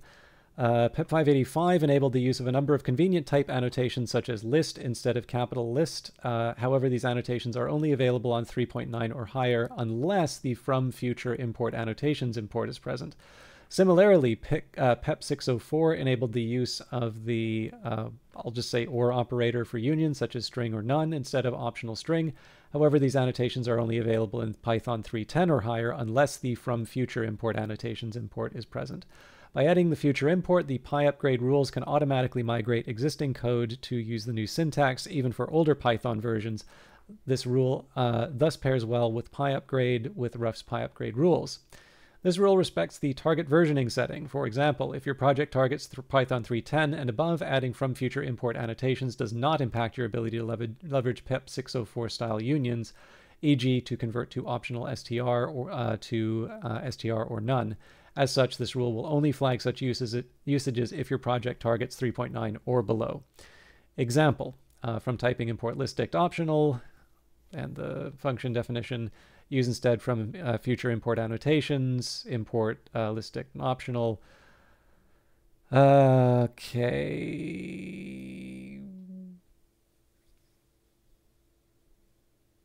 And then after under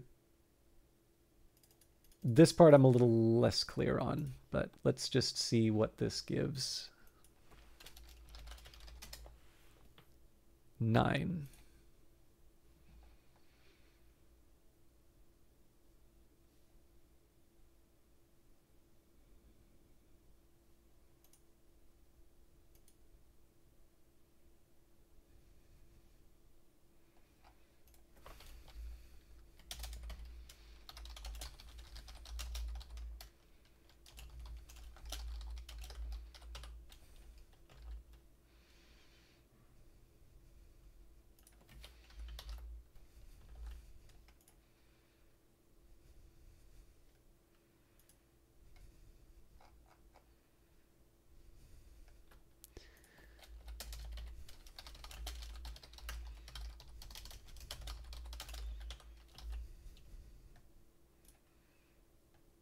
Cool.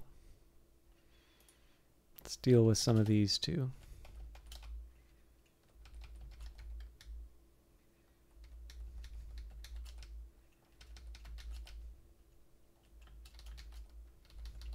I'm sure there'll be more, but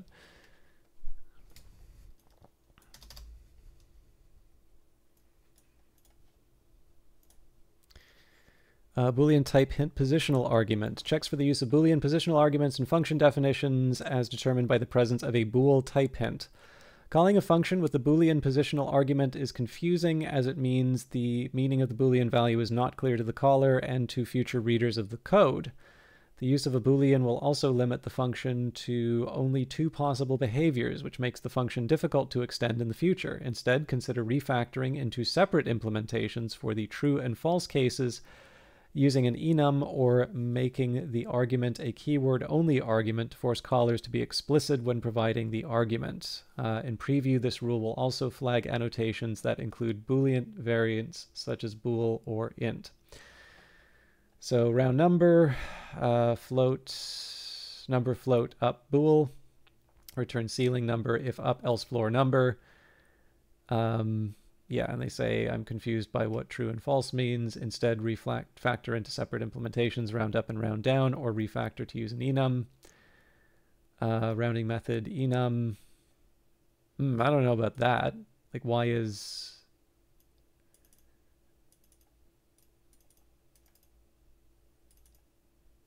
Well, okay, yeah, sorry. I guess I, I see why the enum makes more sense, or uh, is a little clearer, but uh, okay, I don't think I'm going to touch this, but I am curious to see how prevalent it is.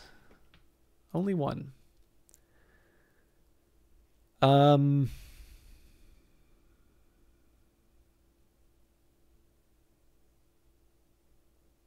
But this is a keyword argument, isn't it?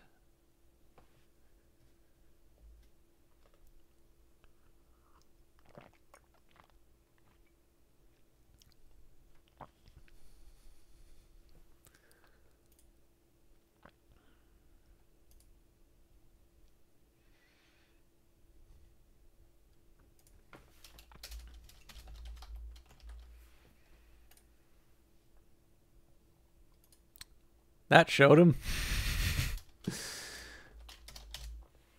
okay, that cleared one and two.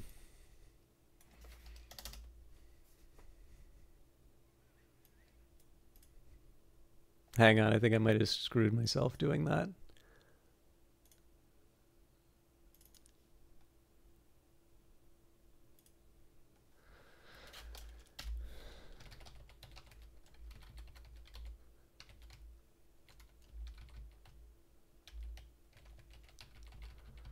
Uh, I'm just going to try and get to the end of the level here.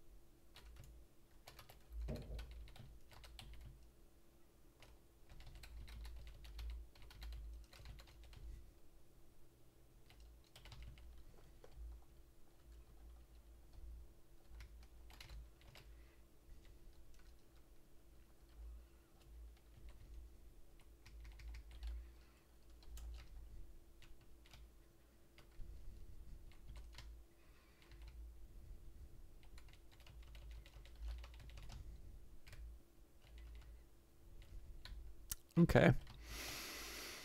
Um, so I didn't run into any problems. Let's take a look in the... Oop. Yeah, so I don't see any error messages either. So um, I was worried that because I it was no longer a keyword, um, there might have been something that was calling it that didn't um, didn't work. But that doesn't seem to be the case. I'm not going to question it. Uh, I'm also going to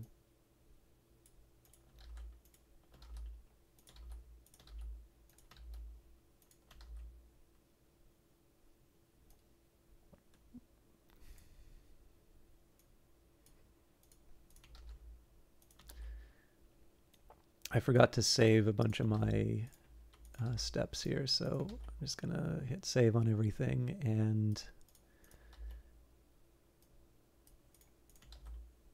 move on to the next part.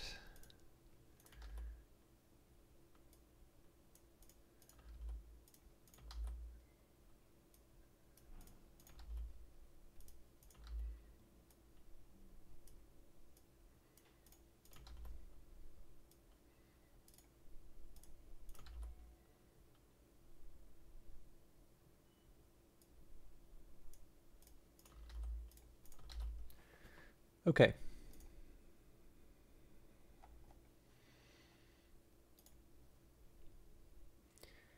Uh, Boolean default value positional argument 2 checks for the use of Boolean positional arguments and function definitions is determined by the presence of a Boolean default.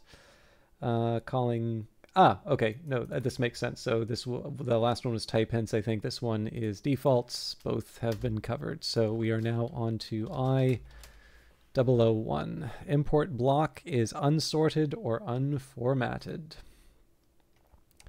Fix is sometimes available, deduplicates groups, and sorts imports provided on the provided isort settings. Consistency is good. Use a common convention for imports to make your code more readable and idiomatic. Import pandas, uh, import numpy. Okay, I'm not... I really wish it would actually give some justification for why this ordering is better than the other one, but let's see what the quick fix gives us. I'll take it.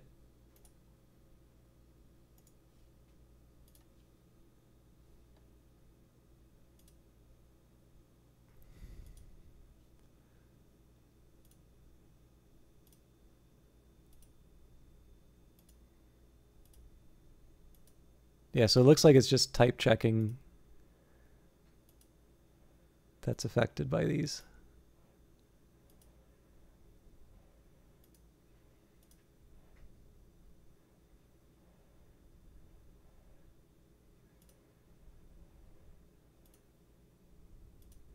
I'm just worrying about I001. Anything else is uh, secondary.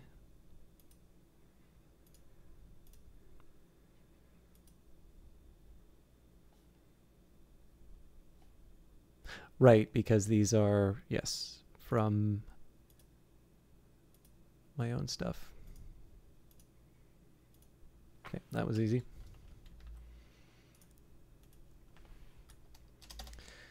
N818.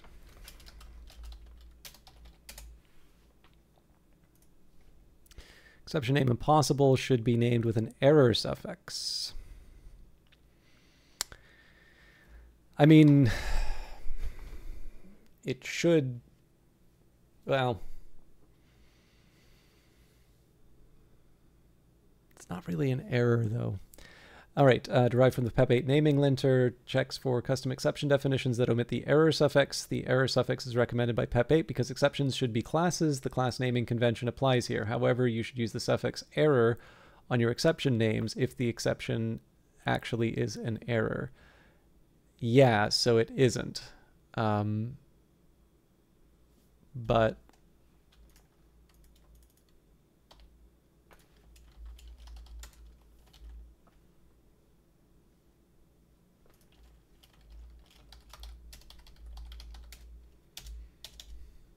Can I search the whole project?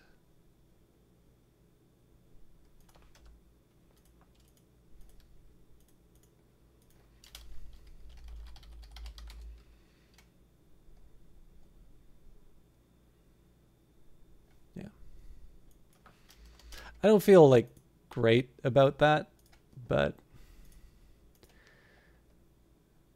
um,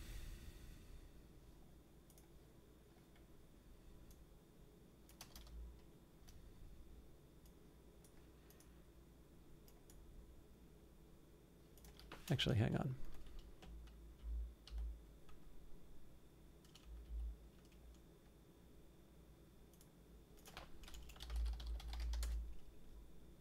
Good.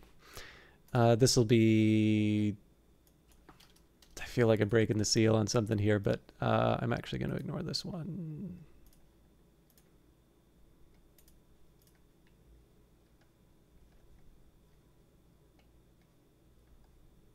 because the the logic behind disabling that one is says if it is in fact an error and it's not, so I'm not. Uh, okay, PGH 003. Use specific rule codes when ignoring type issues.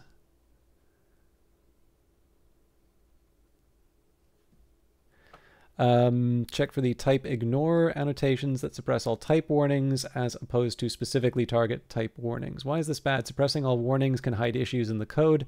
Blanket type ignore annotations are also more difficult to interpret and maintain as the annotation does not clarify which warnings are intended to be suppressed.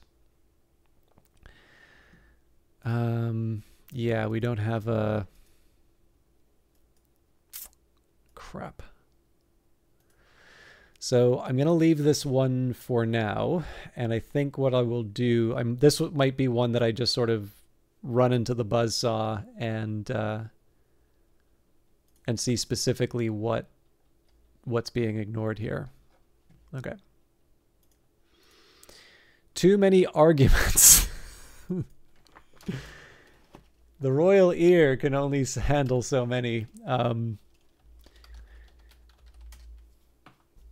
So checks for function definitions that include too many arguments. By default, this rule allows up to five arguments as configured by lint pylint max args option. Functions with many arguments are harder to understand, maintain, and call. Consider refactoring functions with many arguments into smaller functions with fewer arguments, or using objects to group related arguments. Um, so it doesn't like uh, entities, actors, items, render messages, and generate dungeon. I so do not like this rule. Like,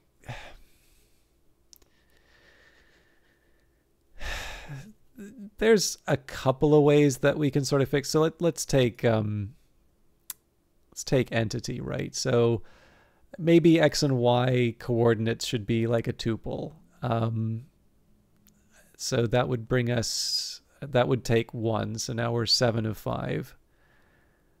Um, you know, maybe character, color, and name would be representations. So that would knock off another two. I mean, I guess that would get us, that would get us to five there. Um, yeah, I really do not like this rule.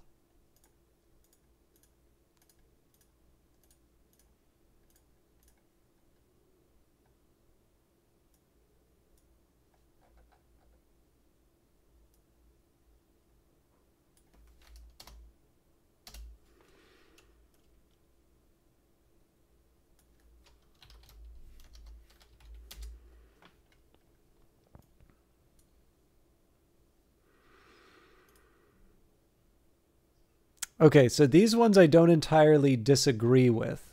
Um, there's eight of them.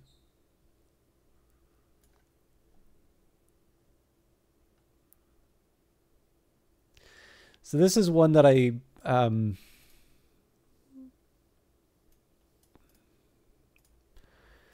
So magic value used in comparison, consider replacing three. So let's get rid of this one. So uh, magic value comparison checks for the use of unnamed numerical constants, magic values, and comparisons. The use of magic values can make code harder to read and maintain, as readers will have to infer the meaning of the value from the context. Such values are discouraged by PEP 8. For convenience, this rule excludes a variety of common values from magic value definitions such as 0, 1, and the empty string and main. So uh, apply discount if the price is less than 100, return price divided by 2. Instead, define max discount at the top and then put it in there. So I I actually don't disagree with this thing, and I I this is not exactly um, well okay. There's a, a couple examples that I took uh, from this. So when I was doing an assignment in school they they had they made us work in pairs. And i actually think that's a really good thing to do in um in some classes particularly in some faculties because there's definitely a type of like there are some subjects that really just lend themselves to um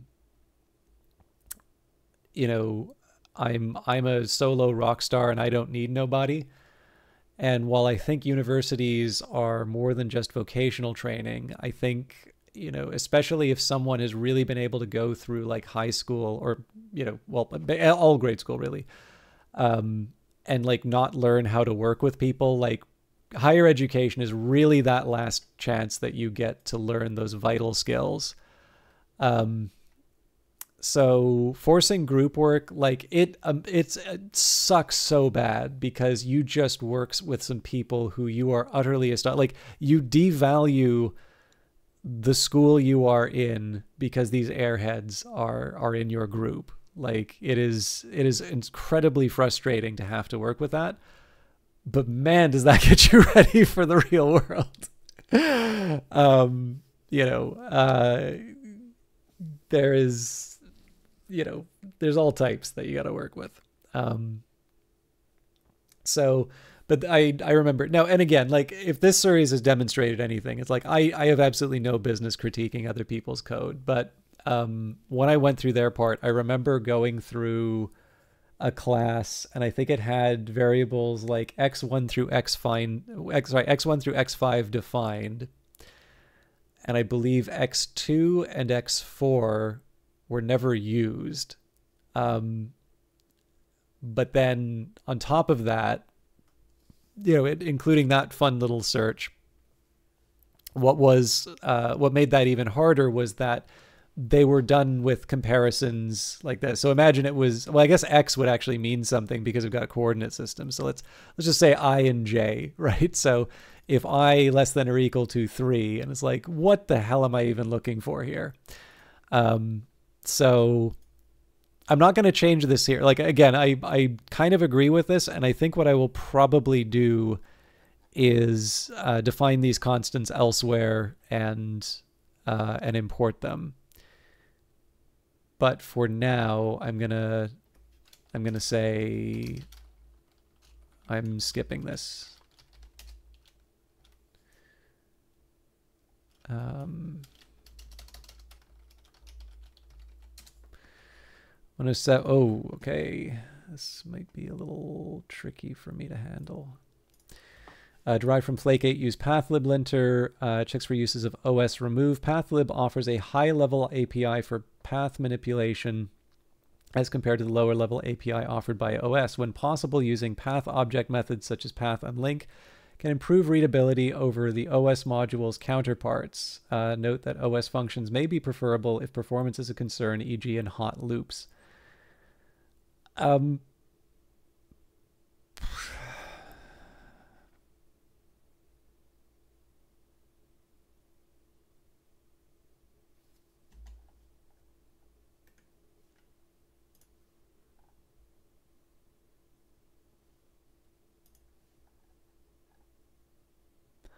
I'll try it.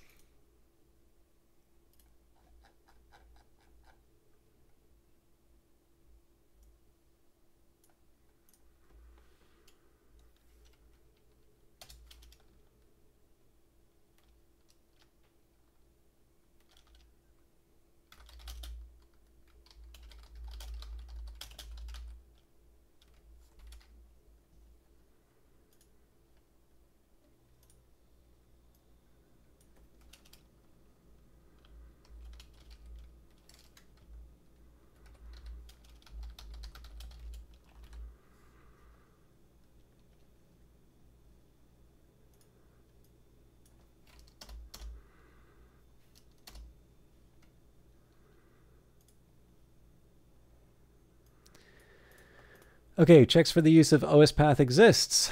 Pathlib offers a high-level API for path manipulation as compared to the lower-level API offered by OS. When possible, using path object methods such as path exists can improve readability over the OS module's counterparts. Uh, e.g., OS path exists note OS functions may be preferable if performance is a concern. So instead of path exists file.py, um, oh, interesting. No, hang on.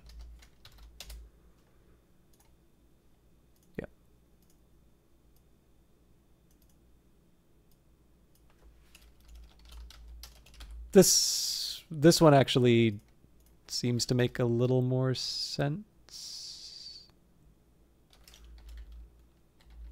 Spoke too soon.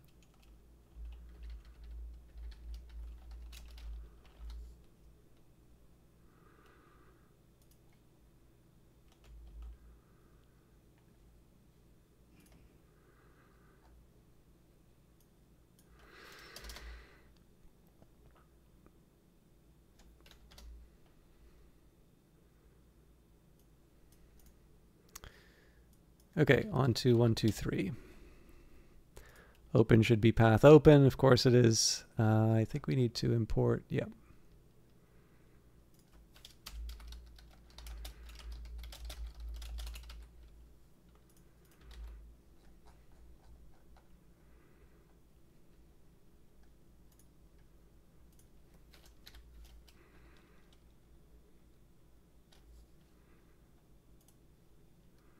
So checks for the open built-in. PathLib offers a high-level API. When possible, path object um, can improve readability over the open. Again, I'm I'm questioning this. Um, I'm questioning this readability thing. Um,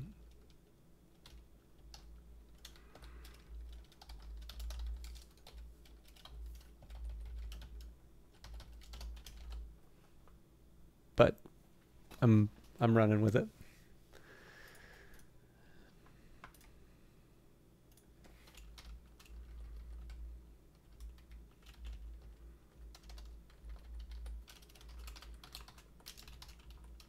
Good God.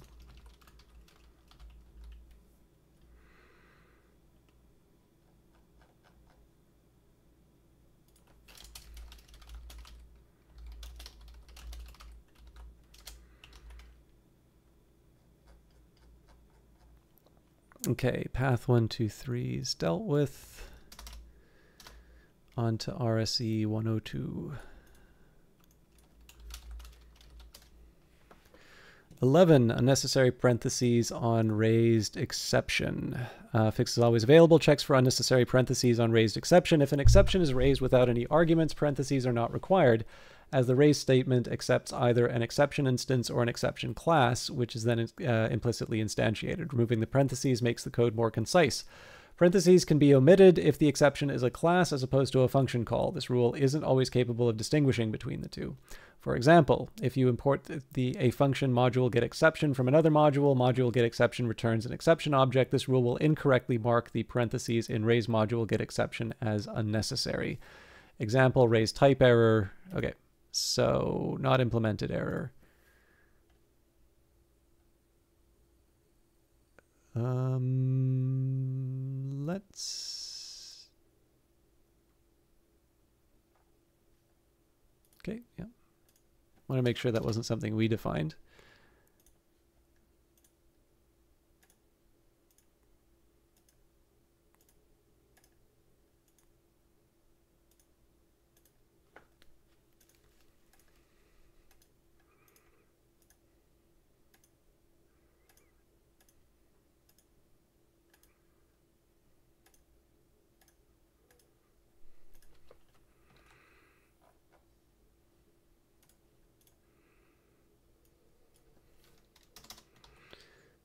So ret 503. Uh, checks for missing explicit return statements at the end of functions that can return non-none values. Why is this bad? The lack of an explicit return statement at the end of a function that can return a non-none value can cause confusion. Python implicitly returns none if no other return value is present. Add an explicit return none can make code more readable by clarifying intent. Um, were we talking about conciseness? Ah, yes, this notorious one. uh, okay.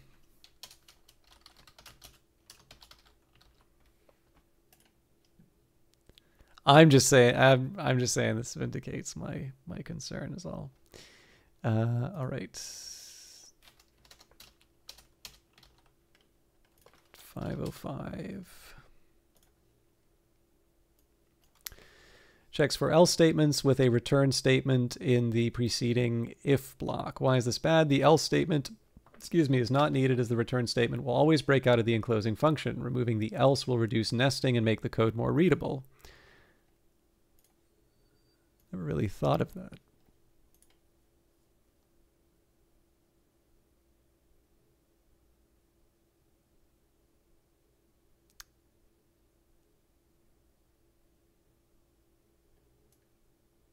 Okay, I kind of see it. I'm not. I'm not super sold on this argument, but again, I'm I'm working with Oh boy. All right. Um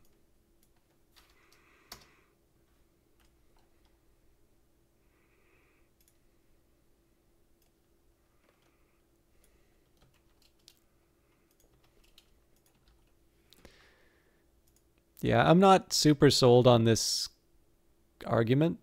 Um,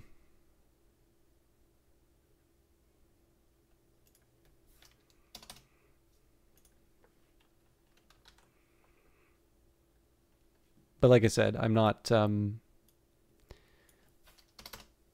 I'm not yet like I, I've not yet hardened in my beliefs on these things, so I'm gonna follow what the computer tells me to. Uh, okay, superfluous else raise checks for else statements with a raise statement in the preceding if block. The else statement is not needed as the raise statement will always break out of the current scope. Removing the else will reduce nesting and make the code more readable.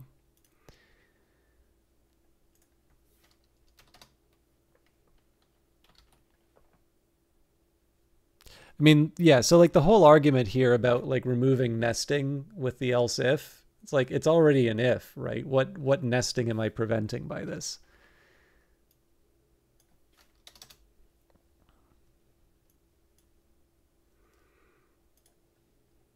All right, doesn't like asserts.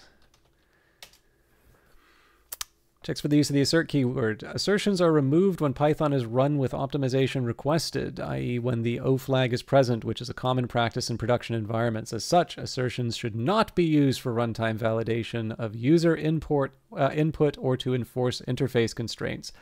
Consider raising a meaningful error instead of using assert. So assert x greater than 0, expected a positive value. Um, if not x. Okay. Um, I'm not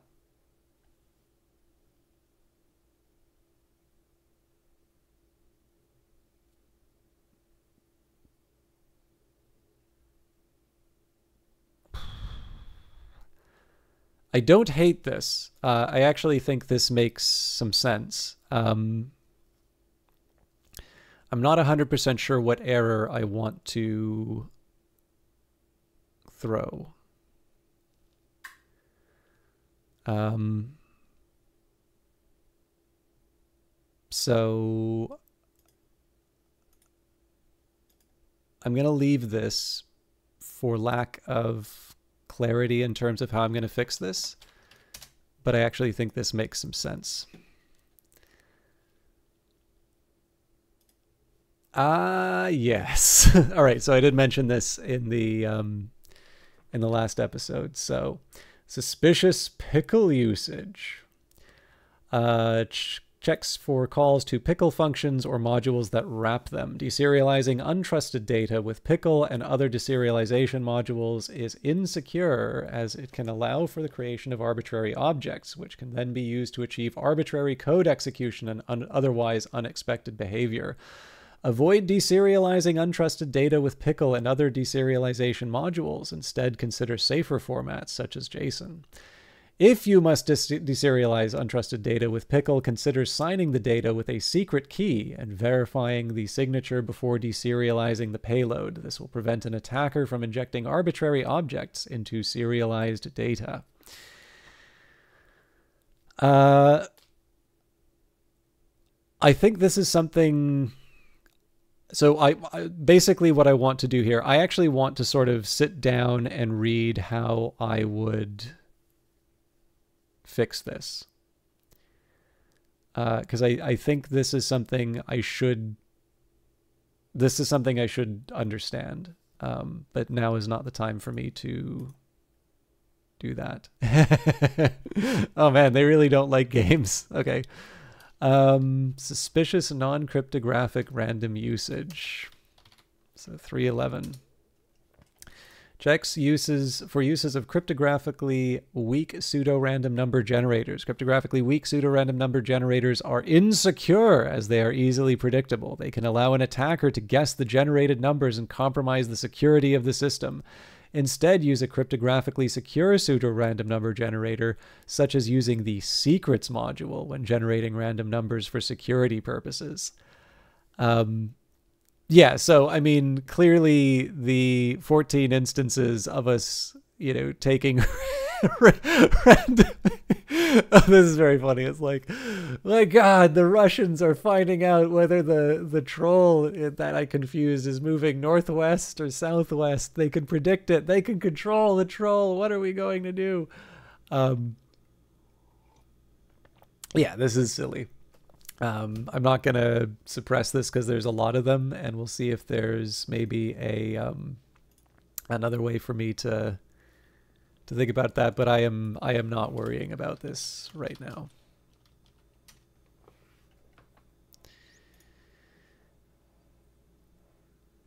Aha. Uh-huh. Collapsible if derived from the Flake 8 simplify linters. Fix is sometimes available. Checks for nested if statements that can be collapsed into a single if statement. Why is this bad? Nesting if statements leads to deeper indentation makes code harder to read. Instead, combine the conditions into a single if statement uh, with an AND operator. Uh, okay, actually, I don't hate this. So if it's a game map, and if it has the attribute parent, and if parent is a game map, oh, but it doesn't, um,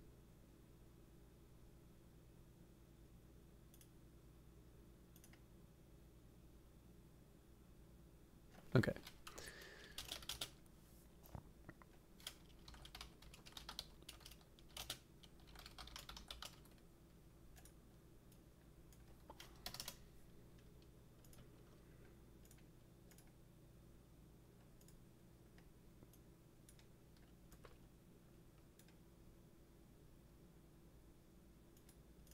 I thought it was okay with these kinds of comments.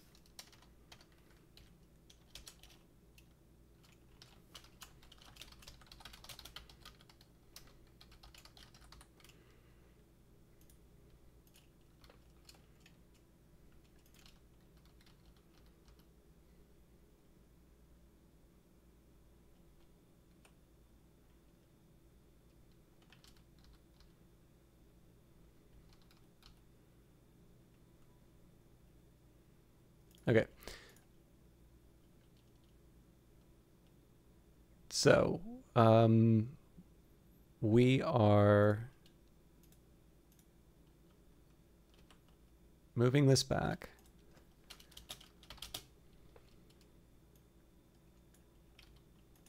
Putting this in here. Getting rid of that. There we go. Oh dear.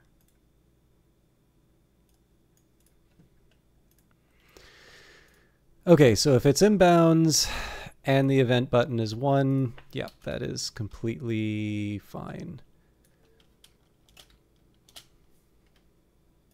So the previous one, um, one of the things that allowed me to do that was, um, I believe it checks. So like if this is true, I should have uh, looked at the previous one, but basically,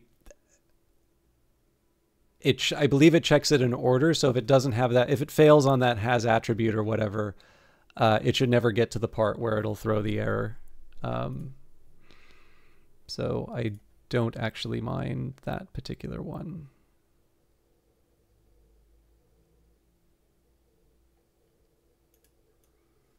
Okay, we're on to Sim 105. I feel like I've left a lot in. Let me just...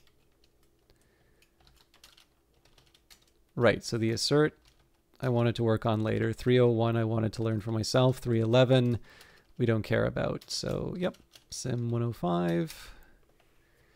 Apparently, oh, no space.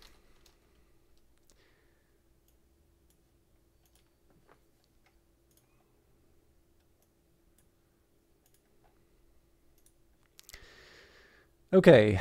Um, checks for try except pass blocks that can be replaced with the context lib suppress context ma uh, manager. Using context lib suppress is more concise and directly communicates the intent of the code to suppress a given exception. Note that context lib suppress is slower than using try except pass directly for performance critical uh, code. Consider retaining the try except pass pattern. Um,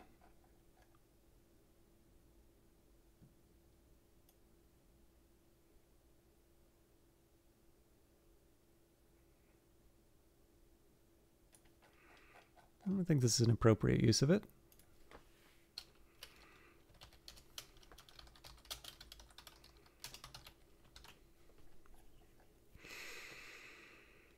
So if it's an AI, um,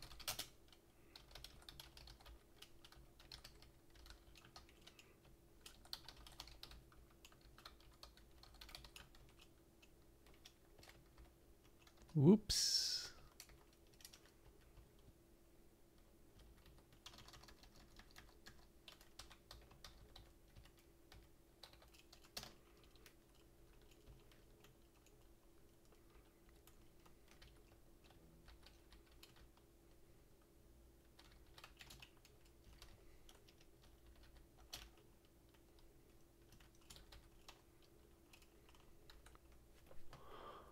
Okay.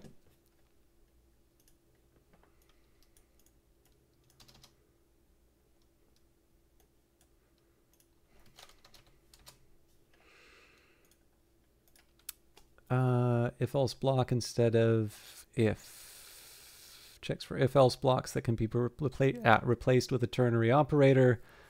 Why is this bad? If-else blocks that assign a value to a variable in both branches can be expressed more concisely by using a ternary operator. So if foo bar equals x, else bar equals y, use instead bar x if foo else y. Okay. ah, our magic numbers.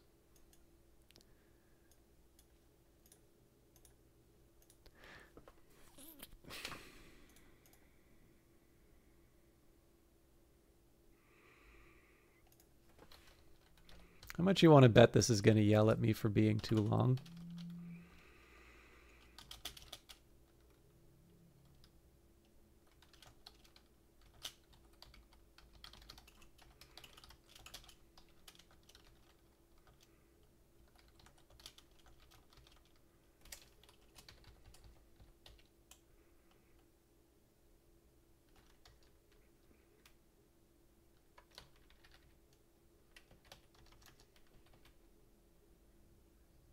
Okay, never mind.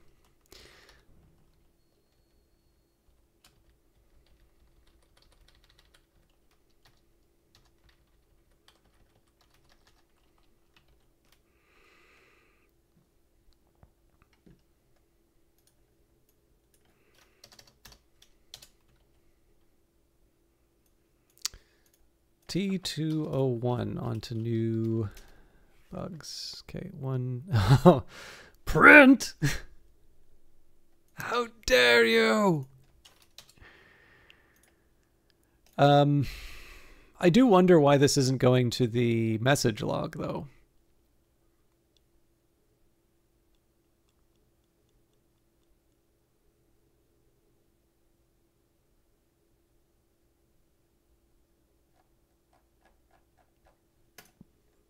So I don't think I'm going to change this right now because this I think this will involve a little bit of work, but uh, fixes sometimes available. Print statements are useful in some situations, e.g. debugging, but would typically be omitted from production code. Print statements can lead to an accidental inclusion of sens sensitive information in logs and are not configurable by clients, unlike logging statements.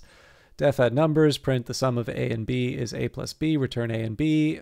Instead, def add numbers uh, a, b. So yeah, I'm not going to focus on that right now. Um, TCH002. Typing only third-party imports. Checks for third-party imports that are only used for type annotations but aren't defined in a type checking block. Why is this bad? Unused imports add a performance overhead at runtime and risk creating import cycles. If an import is only used in typing only contexts, it can instead be imported conditionally under an if type checking block to minimize runtime overhead. If lint flake 8 type checking quote annotations is set to true, annotations will be wrapped in quotes. If doing so would enable co the corresponding import to be moved into an if type checking block. If a class requires that type annotations be available at runtime, such as uh, the case as Pydantics, SQL Alchemy, and other libraries, consider using the lint flake 8 type checking runtime evaluated base classes and lint flake 8 flake uh, sorry flake 8 type checking runtime evaluated decorator settings to mark them as such. So future annotations import pandas PD function, uh, df data frame int, use instead future annotations import type checking, pandas PD. Okay. Um, can we just do this? Cool.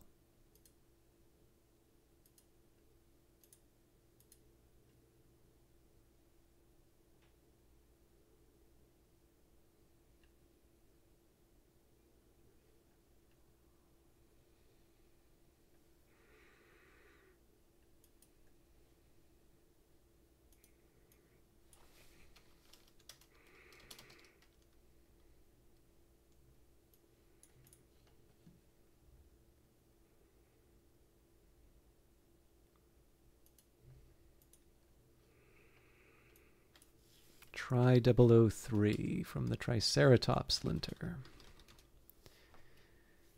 Uh, apparently, we don't have these anymore. Text for long exception messages that are not defined in the exception, exception class itself. By formatting an exception message at the raise site, the exception class becomes less reusable and may now raise inconsistent messages depending on when it is raised. If the exception message is instead defined within the exception class, it will be consistent across all raise invocations. This rule is not enforced for some built-in exceptions that are commonly raised with a message and would be unusual to subclass such as not implemented error. So yes, I see why that is not a thing anymore.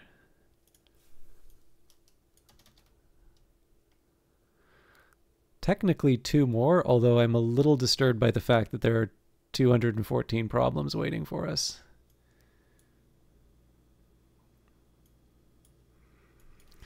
So up 006. 23 of them All right. ah, okay.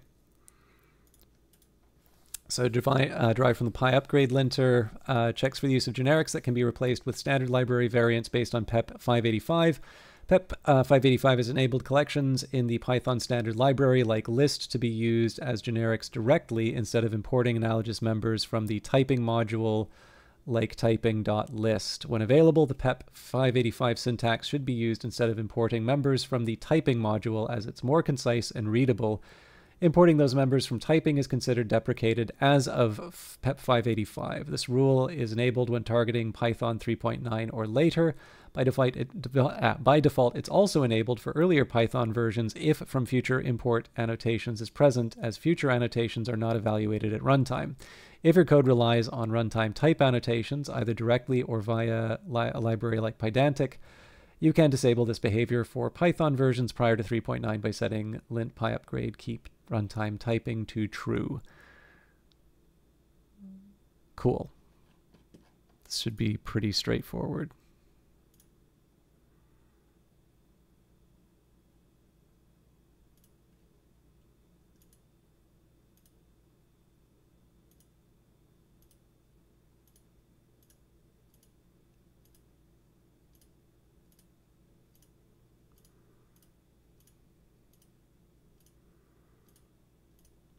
I'm a little more relaxed about um, automatically changing these because this is just this is capitalization. Like this is not. Uh,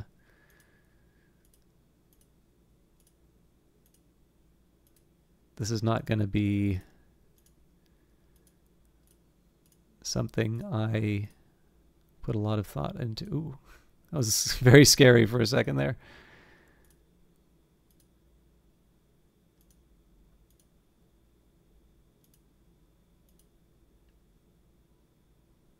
All right. Presumably seven is going to be the um, or.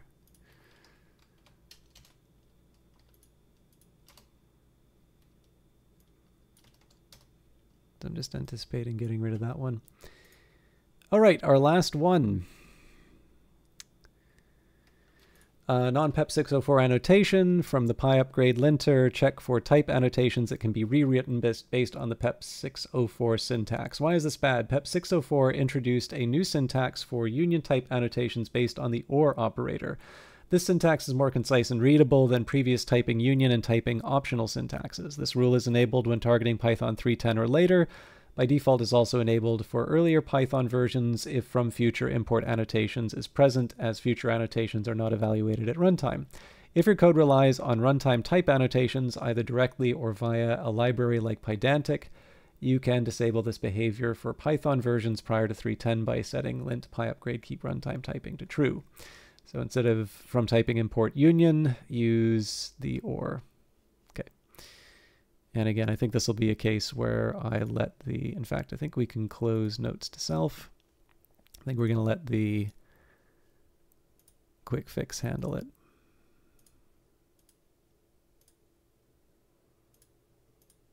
They'll actually knock down a lot of errors for us.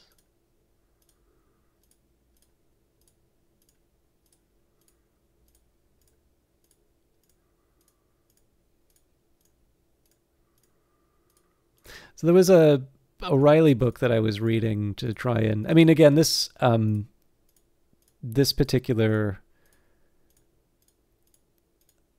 um event, right? The roguelike dev event um has sort of been my excuse to try and learn a little more Python outside of the the little um little area I've carved out for myself. Um but um,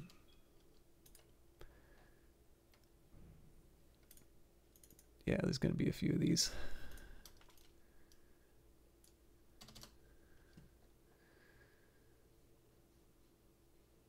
So you know what? It's probably going to be better if I do it by the the file.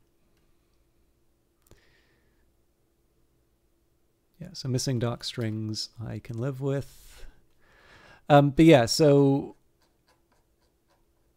uh, what was I going to say? Um, but yeah, there was an O'Reilly book that I was reading um, that sort of made its case for um, sort of uh,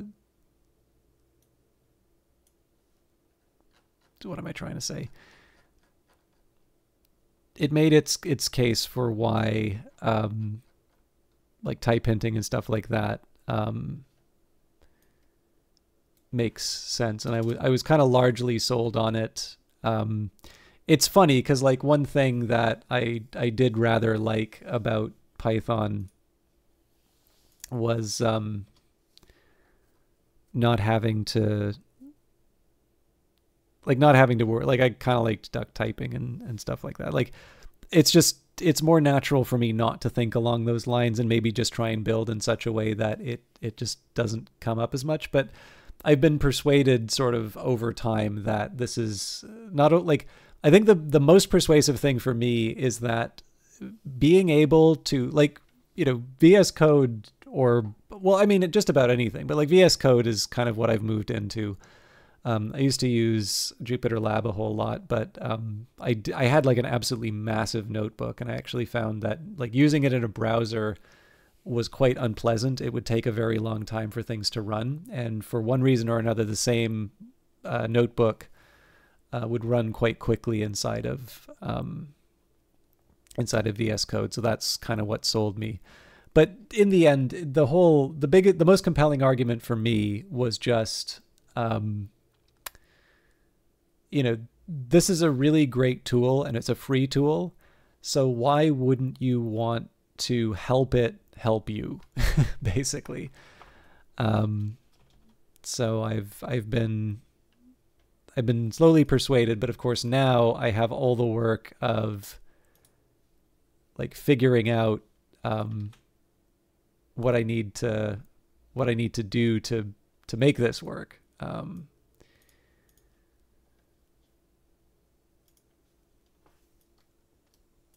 So that's what um, doing all this fun has been about. So yeah, it looks like a lot of these errors are Um, or the missing doc strings and such, which I do I do want to deal with. Um, just not maybe not today.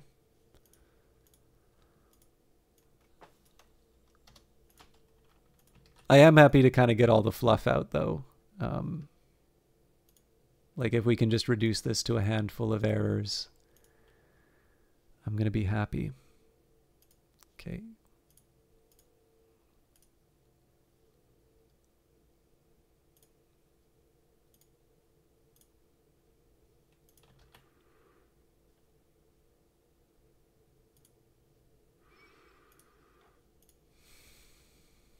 Okay.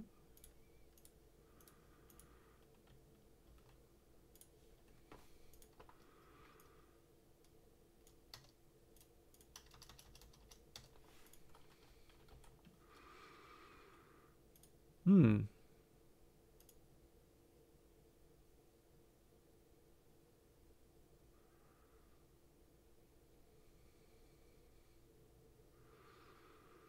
I don't think this is a tuple though.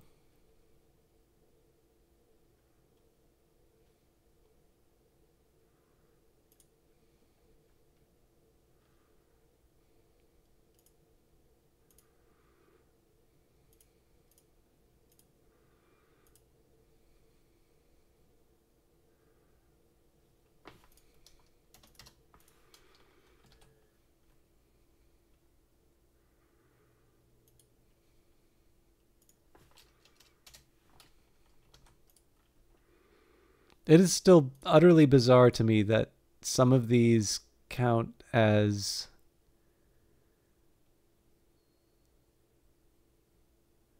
Yeah, I really need to figure out why some get flagged and others don't. Okay. That's fine.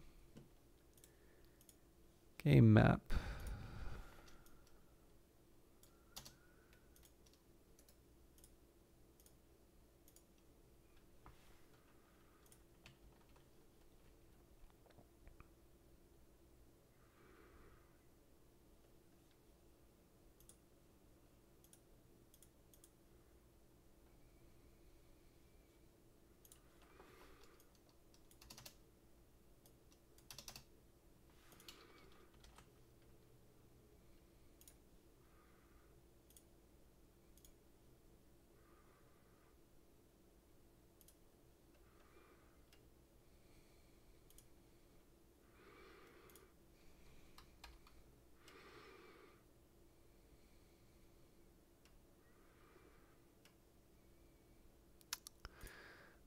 A lot of these, but yeah, these are the ones that were too long. So, um, 32 in input handlers. So, um, the thing I'm most worried about is that I'm just going to miss some of these. So lots of missing doc strings. Doesn't like the magic numbers.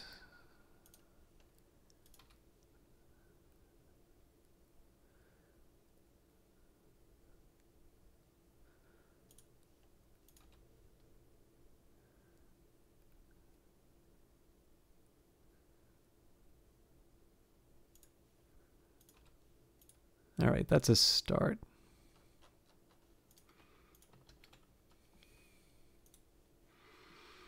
Message log. I guess we can just get rid of all of this, can't we?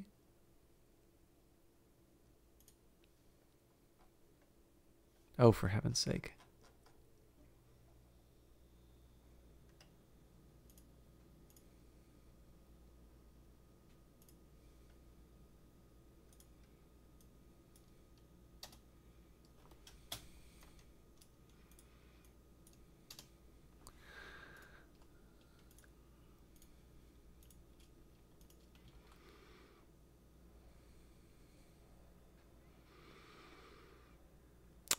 Uh, okay, missing doc strings I can live with. Procgen. Okay, get rid of you. Now we need to reorganize you again.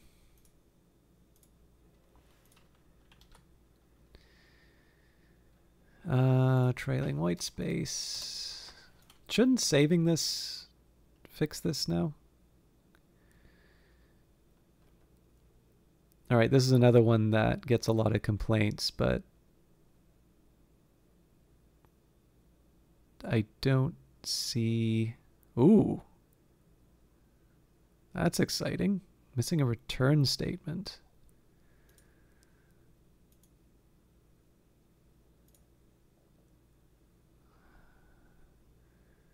But it's not.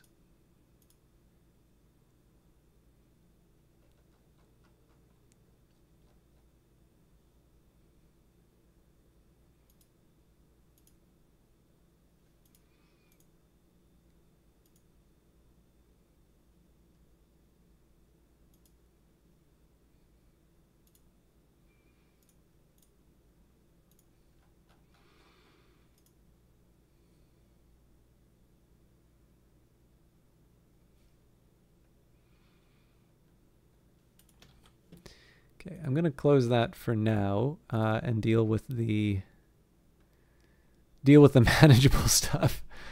Um, render functions are missing doc strings. Render order, missing doc strings.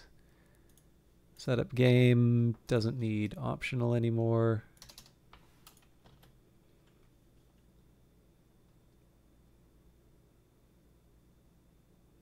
I think I might have found the problem. Uh, doesn't like assert, doesn't like pickle, doesn't like the blind exception, but what's my fix for that? Nothing.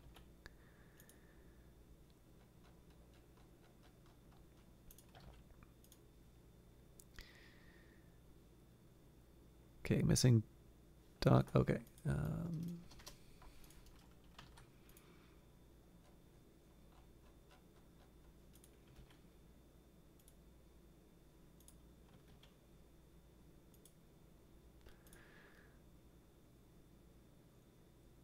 everything got changed, I think. Base component was not changed. So first of all, does this run?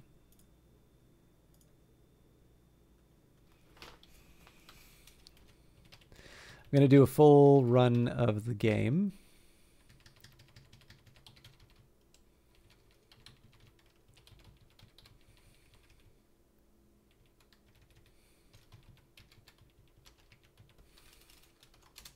Aha. Uh, less than or equal is not supported between instances of actor and int. And interestingly enough, that crashed me out of the game as opposed to reporting that to the log. Oh, well, that makes sense. Does that make sense?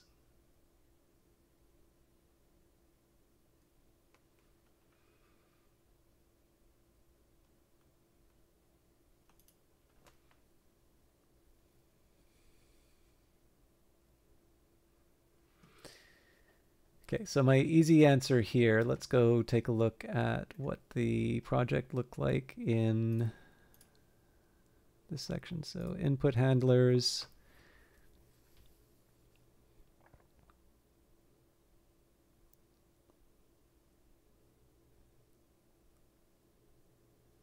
Yeah.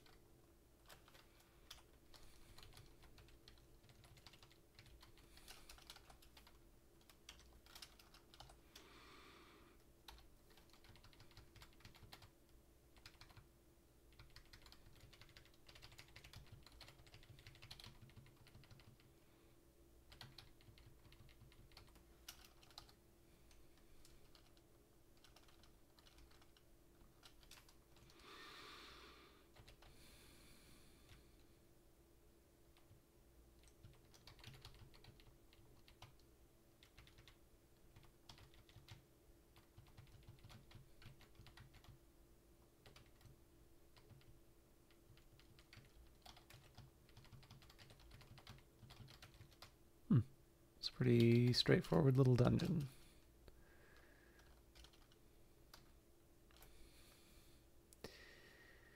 Yeah, so everything seems to be okay. I guess the one thing I didn't do was use the confusion spell, but we can at least blow myself up. Um,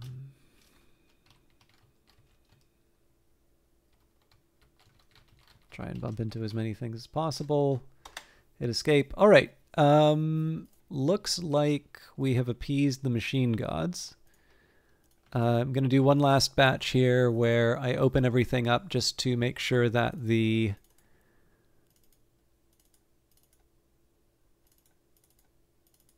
I have an idea of all the complaints. Actually, I should also be opening in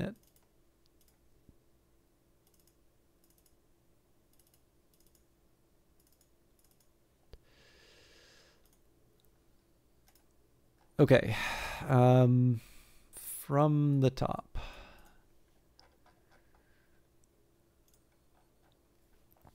I wish there was a way. It would feels like it would be helpful if there was a way to sort um, sort these, but so missing doc strings I can live with.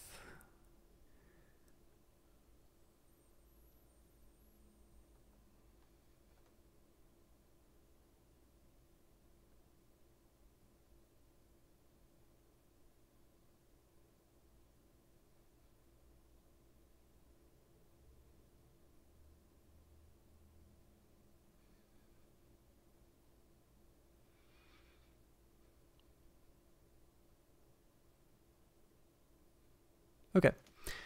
Um, so obviously this was a long one. Um, and it's not, I mean, let, let's be honest here. 137 problems is still too much for me to, to get a, like a good grip on. Um, I, I am going to want to handle these at some point, but, and again, I'd rather not have the crap scared out of me by, um, by, uh, um, you know, my MyPy suddenly saying you don't you don't return anything. Um,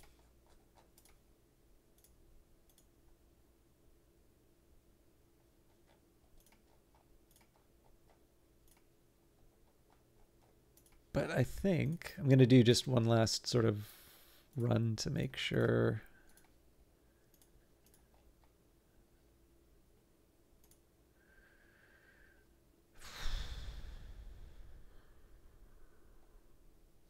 Yeah, it's all doc strings.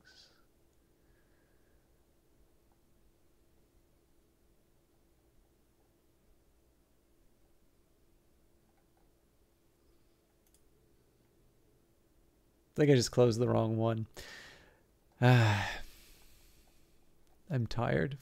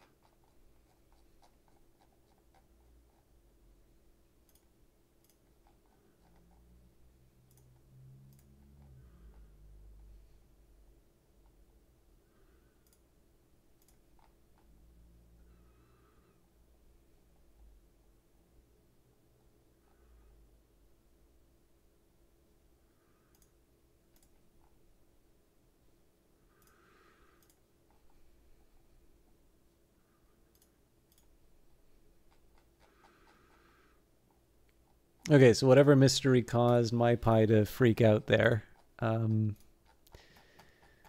it does not seem to be the case anymore. So, um, I'm going to add all of these.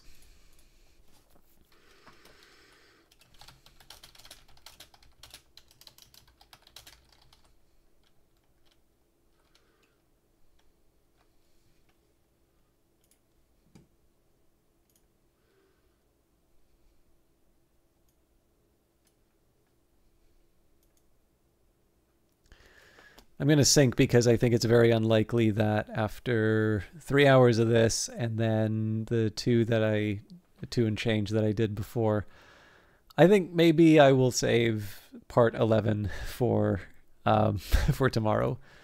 But um, I'm hoping this wasn't too. Oh, okay, yeah, the executables here. So I hope this wasn't too un unpleasant for folks.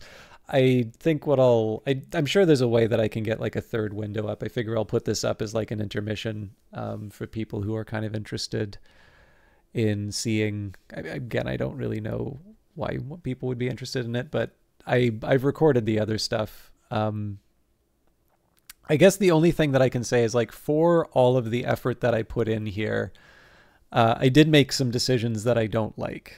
Um, so, you know, I I have a feeling that these rules will be a little bit more helpful for me um, the next time I start a fresh project. And what I think I might start doing is sort of taking some notes. It's very clear that the really wide net is not um, not the way to go long term. Um, and I'm obviously going to want to change my preferences for at least one of the docstring ones. But, uh, yeah, I think that'll probably be the next thing that I do.